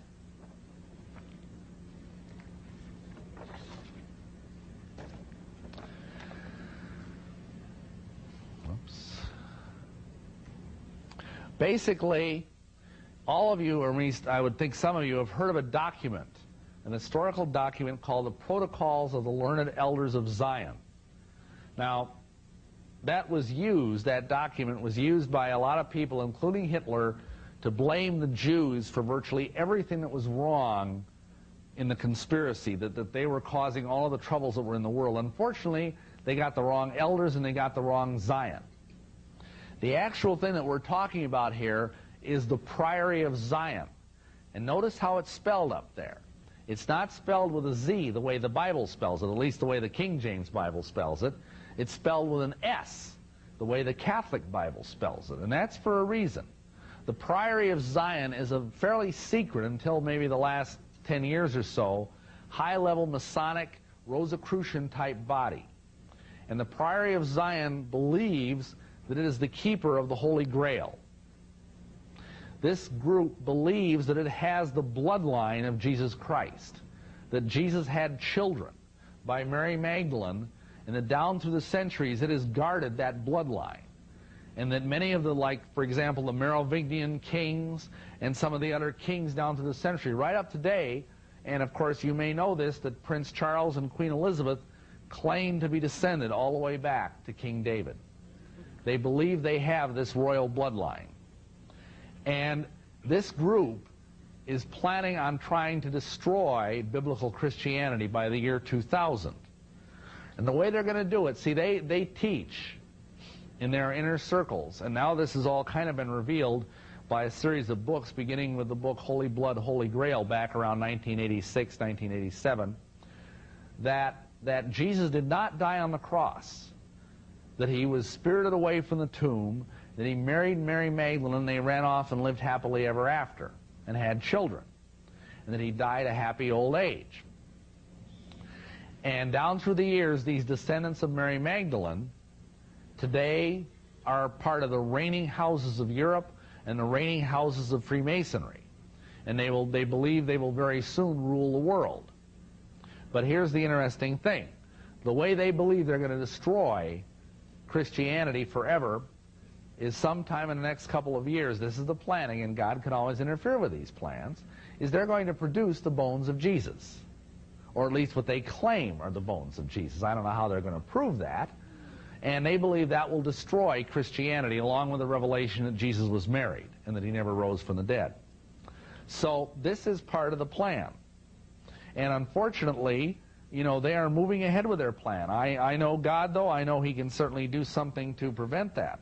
But ultimately, this is what's going to happen if they have their way. Now, if you want to understand the philosophy of this group and what they want to do, the highest levels of Masonry, don't look at the American Revolution. Because while there were Masons involved in it, it was very biblically based. Look at the French Revolution. The French Revolution was, in fact, a textbook case of what the Illuminists and the Masons would like to do if they get their hands on our government. Now, if you know anything at all about the French Revolution, you know it was, it was very awful. They had the Reign of Terror, where thousands and thousands of people were sent to Madame la Guillotine for a very close shave. And um, clergy, whether Protestant or Catholic, were killed without mercy. Churches were destroyed, monasteries were destroyed, churches were defaced. Uh, for example, Notre Dame Cathedral, which is noted throughout the world for the beauty of its architecture, which is Masonic, by the way, was defaced. A half-naked prostitute was enthroned on the altar as the goddess of reason, and a crown was placed on her head and a burning torch was placed in her hand. This, my friends, is the order of the, the origin of the Statue of Liberty. She is not the goddess of liberty, she is the goddess of reason, as opposed to religion. Because everybody knows that no reasonable person would believe in God. No reasonable person would believe in Jesus Christ rising from the dead. Now, would they? And so when you see Lady Liberty in New York Harbor, realizing that the light that she is raising is the light of Lucifer, not the light of liberty. And if you want further proof of this, let me point out two things. Number one, the Statue of Liberty was created by a Freemason in France, designed and built by a Freemason in France as a gift to the Freemasons of America. And not only that, if you look at the tablet that she holds in her hand, you know what's engraved on that tablet? Just four characters.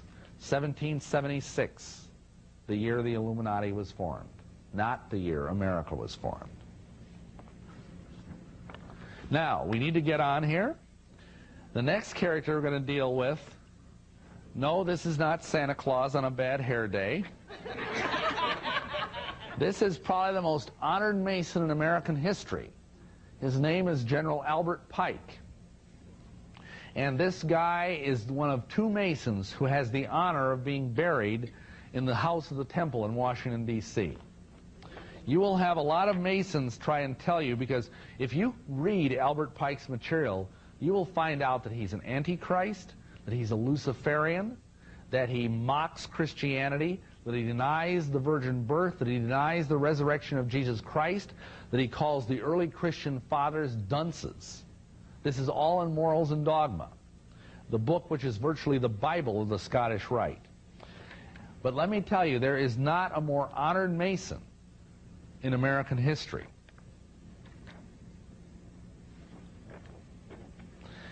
Albert Pike was a Confederate general who, by the way, was noted for his atrocities, both against Union troops and against Native Americans. He did things that were horrible to those people he captured. Basically, he, they called him a fiend. Then he went on to, with General Nathan Bedford Forrest to found the Ku Klux Klan and he had the title of the Chief Justice of the Invisible Empire. The Ku Klux Klan is a Masonic body. Now, it's not officially a Masonic body, but it was started by a Mason. And it, it, to this day, it maintains many of the same characteristics of Masonry. Of Masonry. He was the sovereign grand commander of the Scottish Rite, which meant he was the highest-ranking Mason in America, he also was a supreme Luciferian pontiff, which meant he was the highest ranking Satanist in the world. He's also the author of Morals and Dogma. It was said of Albert Pike that he was the greatest Masonic philosopher of the Western and English-speaking world. That he left Masonry, he found Masonry in a cabin, kind of in desolation after the Anti-Masonic period of American history, and left it in a temple. He's the only Confederate general to be buried within the city limits of Washington, D.C., and he's the only Confederate general and KKK member to have a 50-foot statue in his honor within Washington, D.C.'s city limits. Now, why isn't the NAACP out picketing that, huh? Anyway, the guy was a racist. The guy was a war criminal. The guy was a Satan worshiper. And this is the most honored Mason in American history. Once Pike opened the door, a veritable stream of occultists began to get into Masonry. Arthur, Arthur Edward Waite, 33rd degree. He's the author of the monumental tome, which probably weighs 10 pounds, called uh, The New Encyclopedia of Masonry. He wrote many other books. He was a member of the Occult Society, the Order of the Golden Dawn. And one of the books he wrote was the Book of Black Magic and Pacts in which he's happy to tell you how to sell your soul to the devil. Thank you very much. This next gentleman, Bishop C.W. Leadbeater, was the uh, Archbishop of the Liberal Catholic Church, which is a branch of the Theosophical Society. Now, the Theosophical Society is the grandmother of all New Age movements. And he was also a pedophile who was nearly run out of England because he couldn't keep his hands out of his older boys' cassocks. Then we have Aleister Crowley, who probably doesn't need any introduction, but I'm going to say a couple of things about him anyway. Aleister Crowley bragged that he was the great beast 666. When he was 18 years of old, he crucified a toad upside down after baptizing it as Jesus Christ. Uh, he basically was described by the world's press as the wickedest man alive. He bragged about doing 150 child sacrifices a year, and he was a bisexual and a devil worshiper. He was also, he had so many Masonic degrees that he said if he were to wear the jewelry of all the different Masonic degrees he was entitled to wear, an elephant would creak under their weight. And basically, I've seen a list of all the Masonic degrees he held, and it filled five pages. Then we have W. Wynn Westcott. He's the city coroner of London at that time. He was a high-level Mason and a high-level Rosicrucian and the co-founder of the Hermetic Order of the Golden Dawn. Then we have Manly P. Hall. Manly P. Hall is more contemporary. He just died about, I think, 1991 or 1992. He has been described as the most honored Mason of the 20th century. Manly P. Hall was an occultist. He wrote hundreds of occult books. He was a Rosicrucian. He wrote the monumental masterwork, The Secret Teachings of All Ages and Countries, which is invariably in every Scottish Rite library that I've ever been in. And this guy, again, teaches people how to sell their souls to the devil. One of the books that Manly P. Hall wrote, The Lost Keys of Freemasonry, tells us that once a Master Mason becomes the warrior on the block, the seething energies of Lucifer are his to command. When this fellow died, he was eulogized greatly, incredibly well by the Scottish Rite Journal. And yet the guy was a black magician. Now, and understand something. If you're here tonight and you happen to be a Mason, these are your brothers. These are your brothers. And this is just a partial list. In my book, Masonry Beyond the Light, I document how virtually every leading occultist of the last century was a Freemason.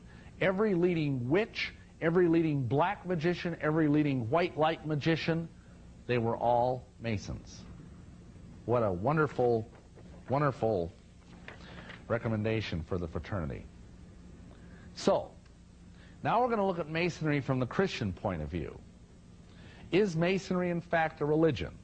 I get brochures sent to me quite frequently by irate Masons. I get a lot of email from irate Masons. Praise God. Pretty soon I'm going to get as much nasty email from the Masons as I do from the witches.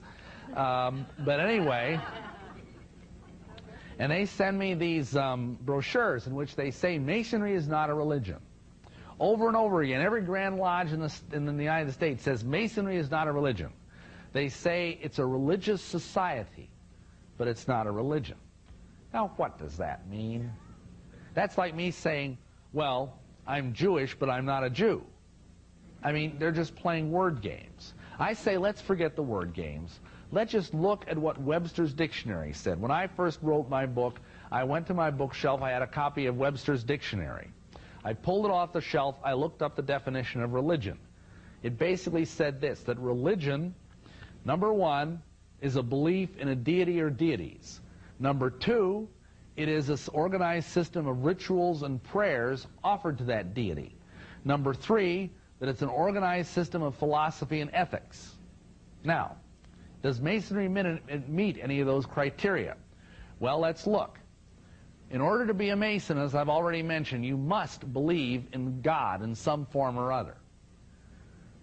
Because right when they bring you to the, to the lodge, they bring you in, you're made to kneel, and you're asked, in whom do you put your trust? And if you don't say in God, you're let out of the lodge. They'll give you several chances. And by the way, you're not allowed to say, I put my trust in Jesus Christ. Because the Masons don't believe Jesus Christ is God. Okay. It expresses that belief in conduct, ritual, and prayer. Obviously, Masonry is ritualized.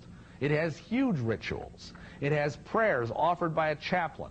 It has a baptismal ceremony, which we'll talk about in a few minutes. And it has funeral rites. If that doesn't make it a religion, I don't know what.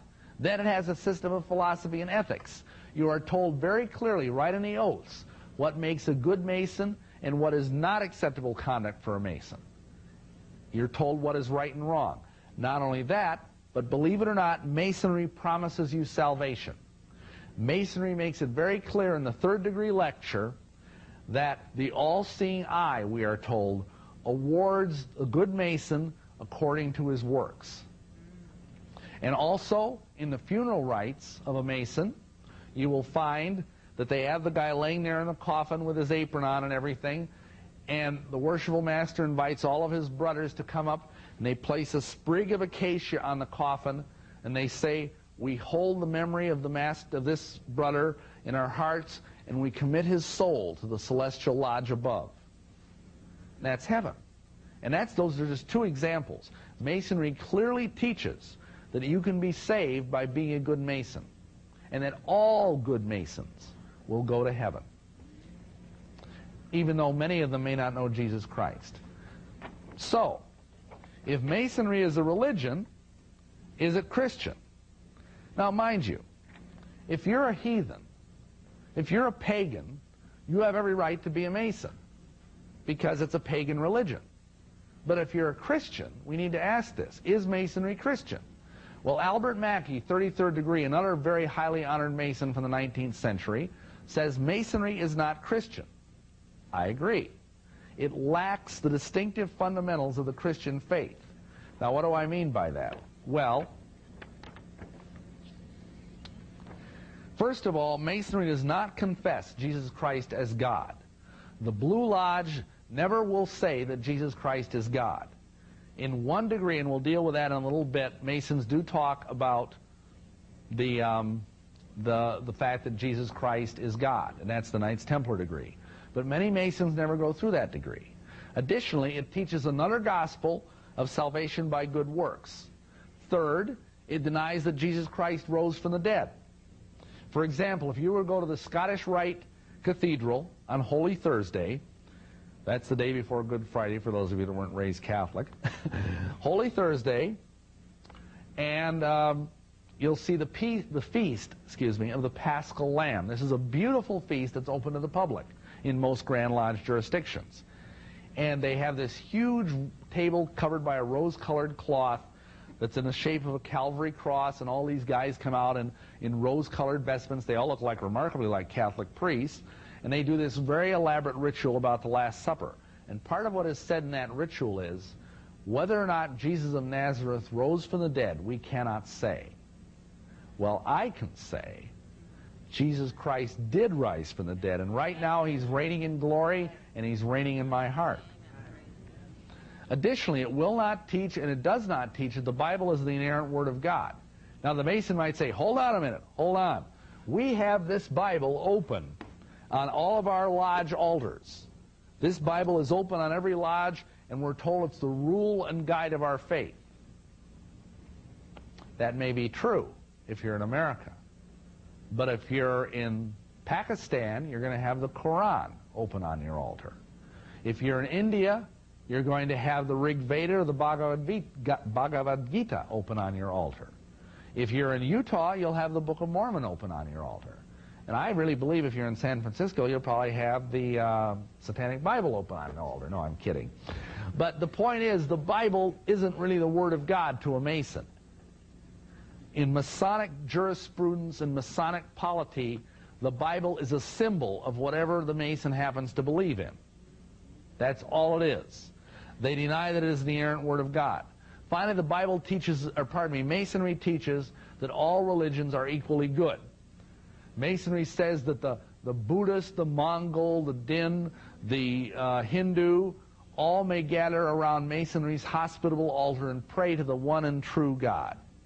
Now, how on earth are they going to do that? I mean, think about it. Okay, we're going to get into individual issues now with the different bodies. The Blue Lodge is what we're going to spend the most time on. Because quite frankly, that's where I think 60% of Masons never get past the Blue Lodge. First of all, people ask me all the time, well, how far do you have to get into Masonry before you discover it's anti-Christian? I tell them about 10 minutes. and I'll tell you why, because here's what happens. You're brought into the lodge, they, make you, they take you into this little ante room, and you take off all your clothes except your undies, and they put these blue jammies on you.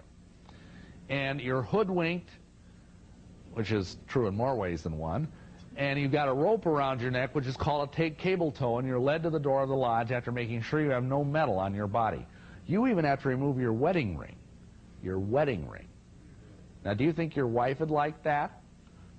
Anyhow, here's how it goes. You knock on the door of the lodge three times. Someone comes and says, who comes here? Now, there's a guy who's guiding you, and he's got you by the hand, and he says, Mr. Bill Snevelin, who has long been in darkness and now seeks to be brought to light, to receive a part in the rights and benefits of this worshipful lodge, erected to God and dedicated to the holy saints John, as all brothers and fellows have done before him. Now, imagine your pastor or your deacon in your church saying, I have long been in darkness and now seek to be brought to light. Hold it a minute. Jesus Christ is the light of the world. Amen?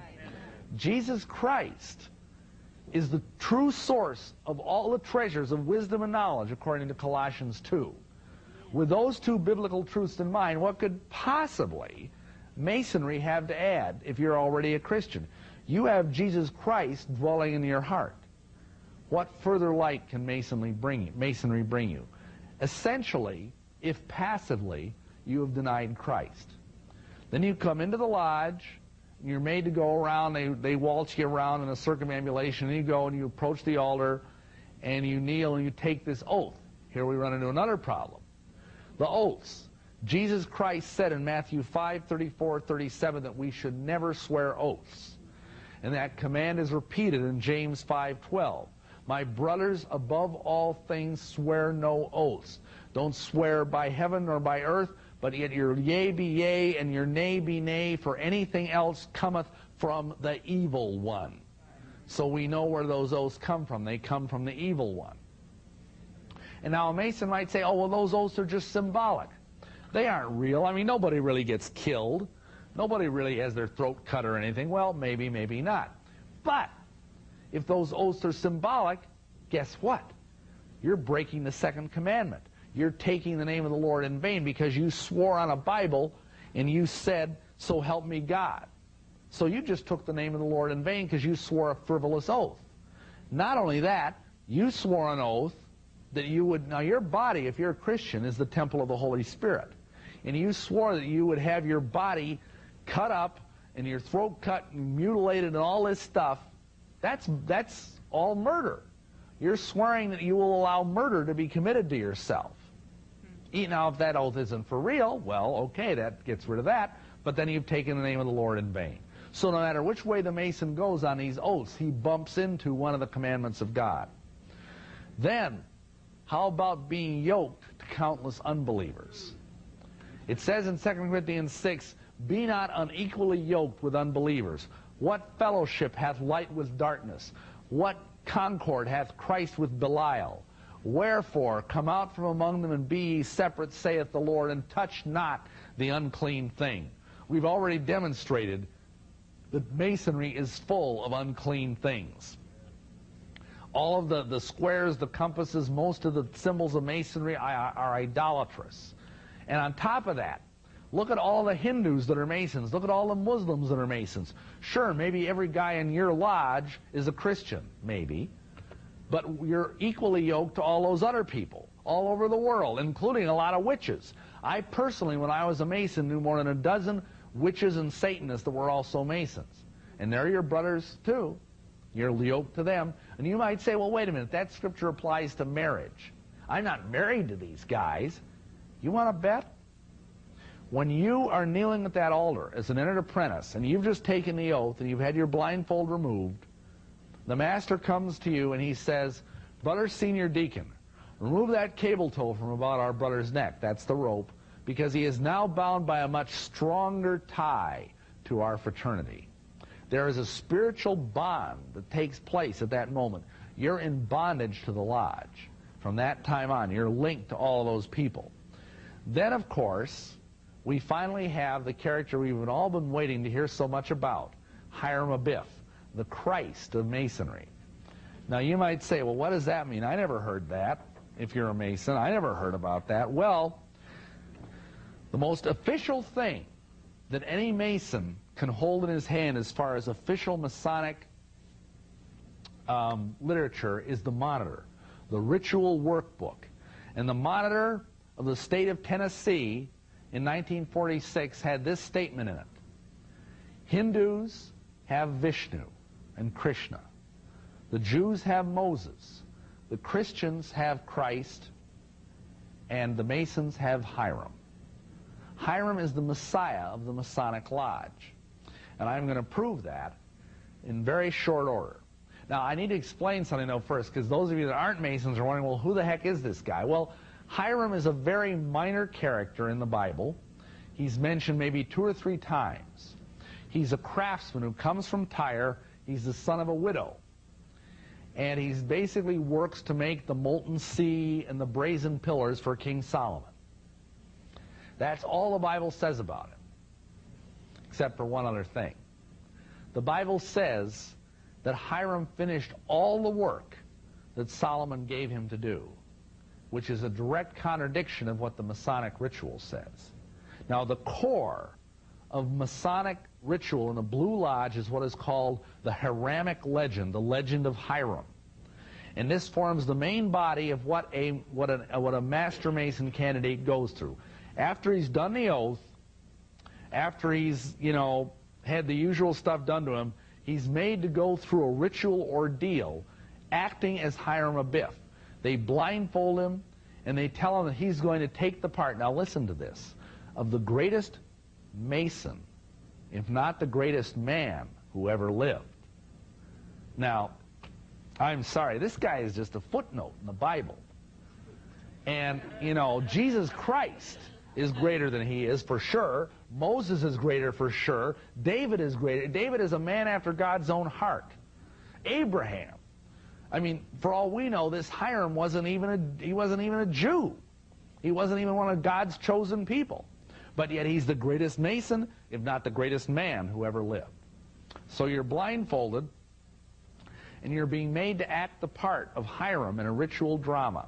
And you're led around the lodge by a conductor and you're stopped and you're accosted by a ruffian, Jubelo. Remember the three Juwes? Here's where they come into play. He grabs the guy by the lapel as rough as possible and he says, give me the secrets of a master mason. And Hiram says, I cannot. The idea is here that the temple is nearly done. These guys are fellow craft. And they've been promised that when the temple is done, they will receive the secrets of a master mason so they can go and travel in the foreign countries and work and receive master's wages. So they are trying to get these from Hiram. And he says, this is a most improper way to ask for these secrets. They can only be given in the presence of three. Solomon, king of Israel, Hiram, king of Tyre, and myself. And the guy says, give me the secrets of a master mason or I'll take your life. And Hiram says, I cannot, I will not. And then he strikes him, but Hiram manages to escape. And he's dragged further around the lodge to the, the senior warden station where he's stopped again. And the guy goes through the same thing with him a second time. And then he's, he manages to escape him, and he's dragged further, and ultimately he's stopped by Jubelum. And Jubelum asks him for the secrets of a master mason, and he says, I cannot, I will not, and he says, then die. And they smack the candidate on the head with a setting maul. It's made out of rubber. And they've got some guys behind him that are holding this kind of trampoline-like thing. And they knock him head over heels into this trampoline, and he's, be, he's supposed to be dead. Then they go around the lodge and they bury him because they're trying to conceal the fact that they just murdered the Grand Master. So they bury him in the rubble of the temple, and what that means practically is that they take him to a corner of the lodge and they dump a bunch of kindling wood on him. And then in, at midnight, they come in and they dig up the body, they carry, carry it out of Jerusalem, and they bury it on a hill where there's an acacia bush, which is the Masonic symbol of immortality. Well, anyhow, to make a long, this stuff takes about an hour to do. To make a long story short, the ruffians are exposed. And they find out that this Grand Master Hiram is buried up on this hillside. So Solomon goes up there with his fellow craft and with his colleague Hiram, king of Tyre. Not the same Hiram, this is a king. and they go up there, and Solomon says, My brother, I fear the master's word is forever lost. Why? Well, because one third of it was held by Solomon, one third by Hiram, king of Tyre, and one third by Hiram Abiff, and now Hiram Abiff is history. He's maggot meat. So what are we going to do? So they decide on the way to the grave that whatever words are first spoken upon seeing the body, those will be the substitute word. Okay? So they get to the body, and as they get to the body, they're all going like this because it stinks so bad they can't smell it because, as the ritual says, because of the effluvia which emanated from the grave. And this is partly where you get the Master Mason sign, is this, okay? So they, they, he, Solomon says, okay, let's try and raise the body with the grip of an apprentice. So they try to do that, but unfortunately the flesh cleaves from the bones and they can't raise the body. So, okay, let's try fellowcraft grip. So they use the fellowcraft grip, and again, the flesh falls off the bones, and they can't move the body because the body is so corrupt. So Solomon says, brothers, let's pray. And so they say a prayer. Then he says, I will now endeavor to raise the body by the strong grip of the lion's paw, the master mason grip. So he brings the guy up. Now, this is the candidate, mind He's been laying there all this time. They raise him up from the grave and pull him into the five points of fellowship, which is basically foot to foot, knee to knee, breast to breast, hand to back, and mouth to ear. And then he whispers the secret new word of the master mason in the guy's ear. And that secret word is Mahabone. Are you all just awestruck with the wonderfulness and beauty of it? The translation will astonish you even more. You know what that means in Hebrew? Most Masons don't even know what the word means.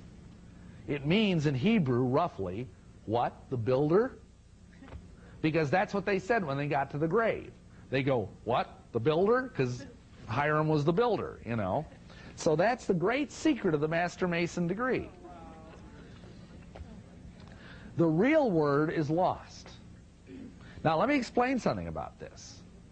When you go down and you're knocked down as a candidate, pretending to be Hiram, that's a Masonic baptism. It's even called that in the literature.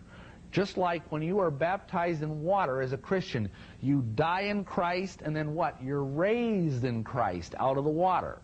Well, there's no water here, but you die in Hiram and then you're raised in Hiram. It's the same exact thing. Except, do you really want to be raised in Hiram? You won't after you see this next slide. Who is Hiram, really? Well, Hiram is just a front for the slain and risen God of all the different pagan mythologies. And the Masons will tell you this if you read their books. Let's take the most famous slain and risen God of all, Osiris, the god of the dead in ancient Egypt. Okay. Hiram is a widow's son. So is Os uh, Osiris. His mother is also his lover, Isis, just like Nimrod. Nimrod also is a slain and risen God who married his own mother. Isn't that spiritual, though? Anyway, Hiram is slain by a ruffian. Osiris is killed by his brother Set. Hiram is buried three times, once in the rubble of the temple, once on the hillside underneath the acacia tree, and finally in a splendiferous monument that we'll talk about in a minute. Osiris is also buried three times. Hiram travels as a son. What does that mean? Well, when he's led around the lodge and is attacked by the three ruffians, he's moving clockwise, which is the direction of the sun. Also, Osiris. Hiram is raised from the dead, but with something missing. That something is the lost word. Hir uh, pardon me, Osiris is raised from the dead, but with something missing. Now, we're going to have to talk about that. According to Egyptian legend, when Set murdered Hiram, he was essentially cut into 12 pieces. Now, Isis was a goddess, and she wept and moaned over the fact that her, her lover was gone, and she ran over the countryside to find all the different pieces. And when she found them, she put them all together and used her magic to bring him back to life. But unfortunately, One piece was missing. Guess which piece? a very important one if you're a guy. anyway, that piece was missing. And so Osiris could not be fully restored.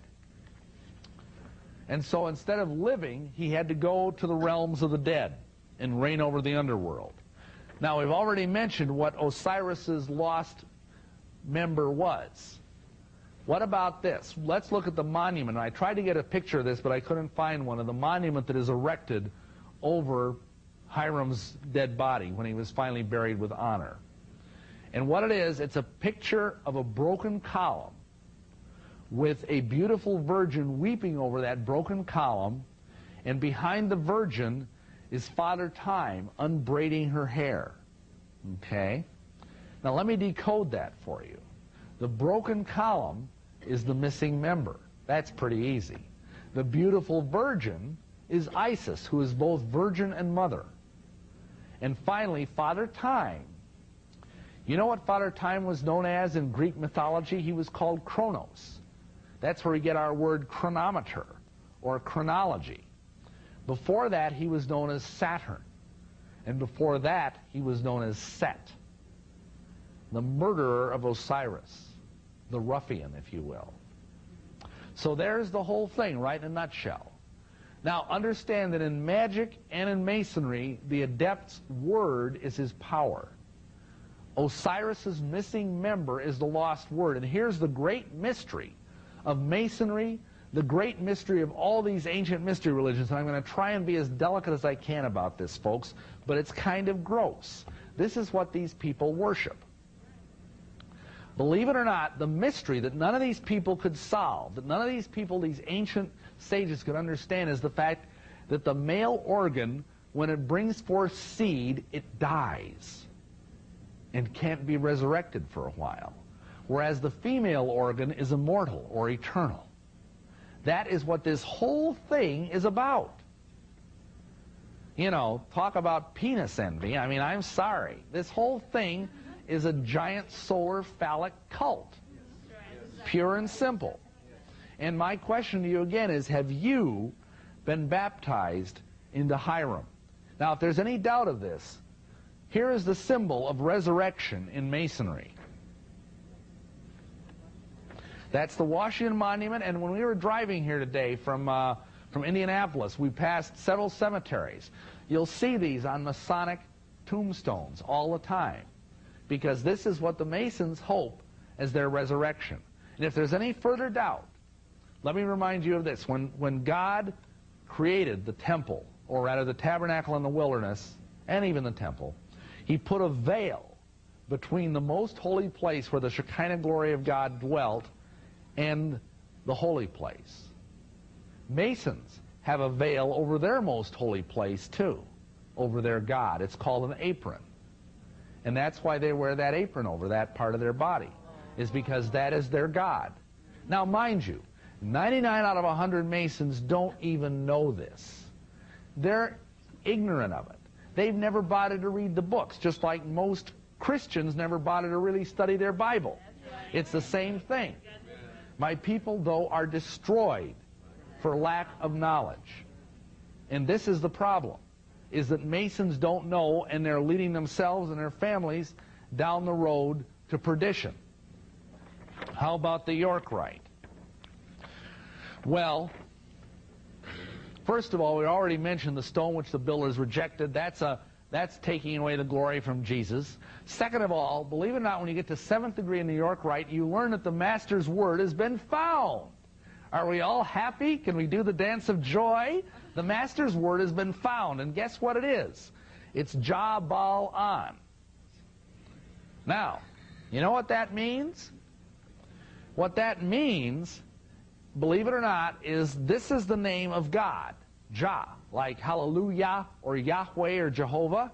Okay? Baal is Baal, the god of the Canaanites. On is another name for the god Osiris, who is the like kind of the sun god in his underworld capacity. So what you have here is the name of the true and living God mushed together in a kind of trash compactor with Baal and Osiris, two false gods. Now, how, how pleased do you think God is with that? Can you think about it? Not only that, you know what else? They use God's name as a password in the Royal Arch degree. When you do the beginning degree work, and I was actually a Master of the Veil in the Royal Arch, they say, are you a Royal Arch Mason? And you know what your answer is? I am that I am. That's the name of God. That he thundered down from Mount Sinai to Moses. I am that I am.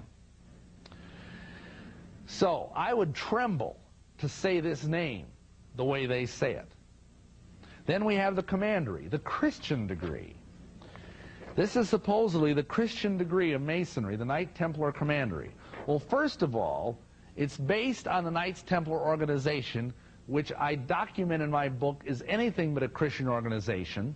Jacques de Molay was the last Grand Master, and he was burned at the stake for being a pedophile and a child abuser and a black magician and an idolater. He worshipped a god named Baphomet, which looked like a goat. Now, it teaches salvation by works, but most importantly, and this is the most awful thing that I know of in Masonry, and it's pretty bad, folks. You, you, when you take the oath as a Knight Templar, I did this myself. You're led into a room, it's all in black, and there's this huge triangular altar with a black velvet tablecloth with 13 burning candles. This is supposed to be the Last Supper, okay? There's a huge Bible open with a skull on it. You go through the oath, and then you you take the skull in your hand, the top is removed, and you discover there's wine in it. And the oath, the penalty of the oath, like, you know, having your throat cut and all of that, you take communion out of this skull, and you swear in the name of Jesus, because this is the Christian degree, remember, you swear in the name of Jesus that if you ever reveal the secrets of this degree, all the sins that you ever committed will come back on your head, and then all the sins of the man who, from whose skull you are drinking will come back on your head. Now, talk about crucifying the Son of God afresh and bringing him to an open shame. Jesus Christ died for your sins if you're a Christian. He washed them away with his shed blood. You're saying you want them back if you ever break this oath. I mean, first of all, you shouldn't be taking the oath in the first place. But beyond that, that is appalling. That is blasphemy of the first water. Now, how about the Scottish Rite? Well, in the 19th degree, and I sat through this, I know it's true, they call up the devil. They have a whole ritual where they call up the devil. He comes out and he terrorizes all these Christian ministers and makes fools out of them and then you're anointed in that same degree a priest after the order of Melchizedek. Now think about that. That's Jesus' priesthood. And the Masons certainly don't have the right to convey it. Now guess what the sacred secret word of the 17th degree, the Knights of the East and West is? It's Abaddon. Abaddon is another name for the devil, the angel of the bottomless pit. And then there's more communion out of a human skull. These guys are really into this skull thing, let me tell you. Then we have the mystic shrine. Whoops. The mystic shrine, first of all, it's, very, it's all Islamic. You swear on the Quran, you swear in the name of Allah, the God of, the, of my forefathers, the God of the Muslim and the Muhammadan. That's how the oath is sworn. And I'm sorry, Allah is not my God and He's not the God of my forefathers, one way or the other. And in addition to that, there's a whole bunch of ungodly tomfoolery that I don't have time to even get into. Then the next thing we'll look at briefly is the Eastern Star. What's wrong with the... Everybody says, oh, what's wrong with the Eastern Star? It's so special. We get to... We sing the old rugged cross. We sing, I walked in the garden alone when the... And I mean, it's like yeah, it's all real sweet. But guess what? Rat poison is 95% good food, too. But it's the 5% poison that kills the rat. Squeak, squeak, squeak. This is the signet of the Order of the Eastern Star.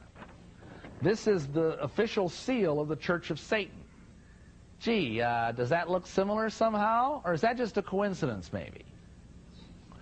Now, you could say, yeah, that's a coincidence, except first of all, this is Baphomet here in the center. Remember the god that the Knights Templar worshipped, that the Masons were thrilled with? Not only that, but look at something else. I'm going to take this away for a minute. Believe it or not, you notice these colors?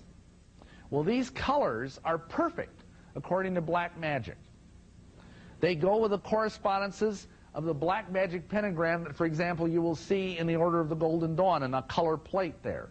This is, this is earth, air, fire, and water. Now this fifth point, which is white, is the akasha.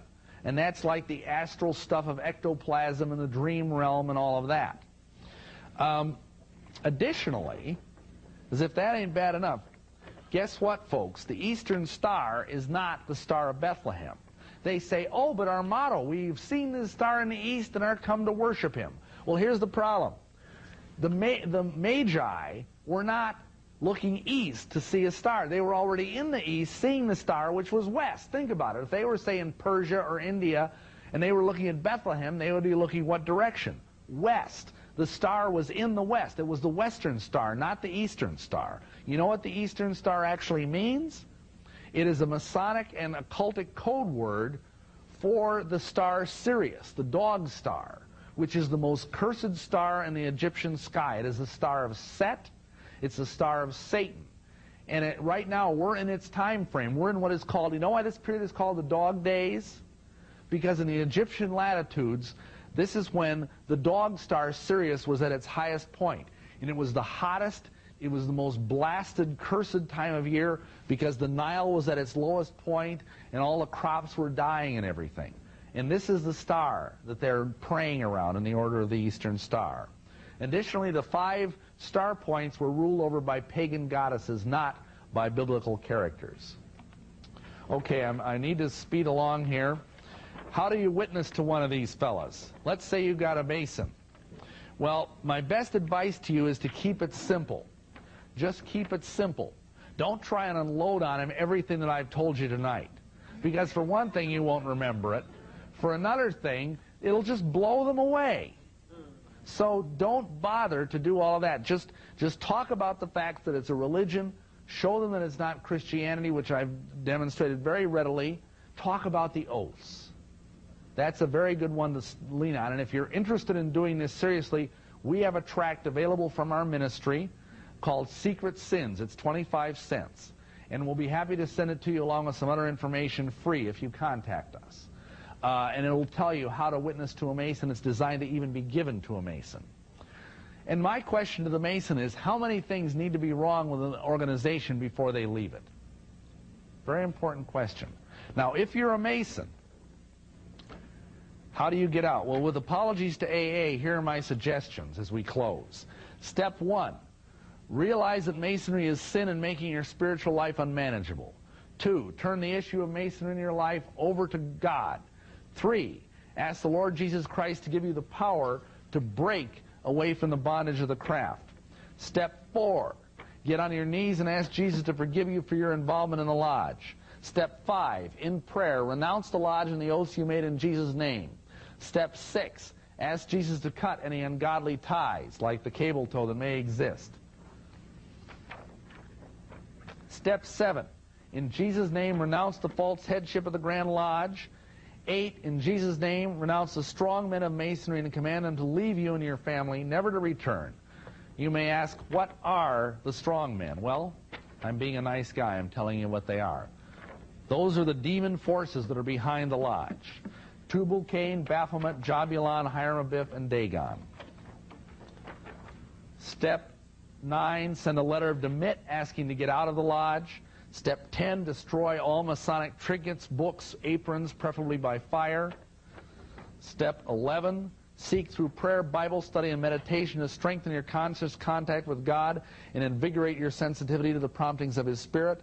And step 12, having had this spiritual awakening, tell as many Masons as possible about the Lodge and lead those who are lost to Jesus Christ. And if you're a Mason and you're here tonight, you need to do those things. You need to renounce it, you need to repent of it, and you need to ask Jesus Christ to break the power of the curses that you have laid on your family, which are very real, over them. In Jesus' name, amen.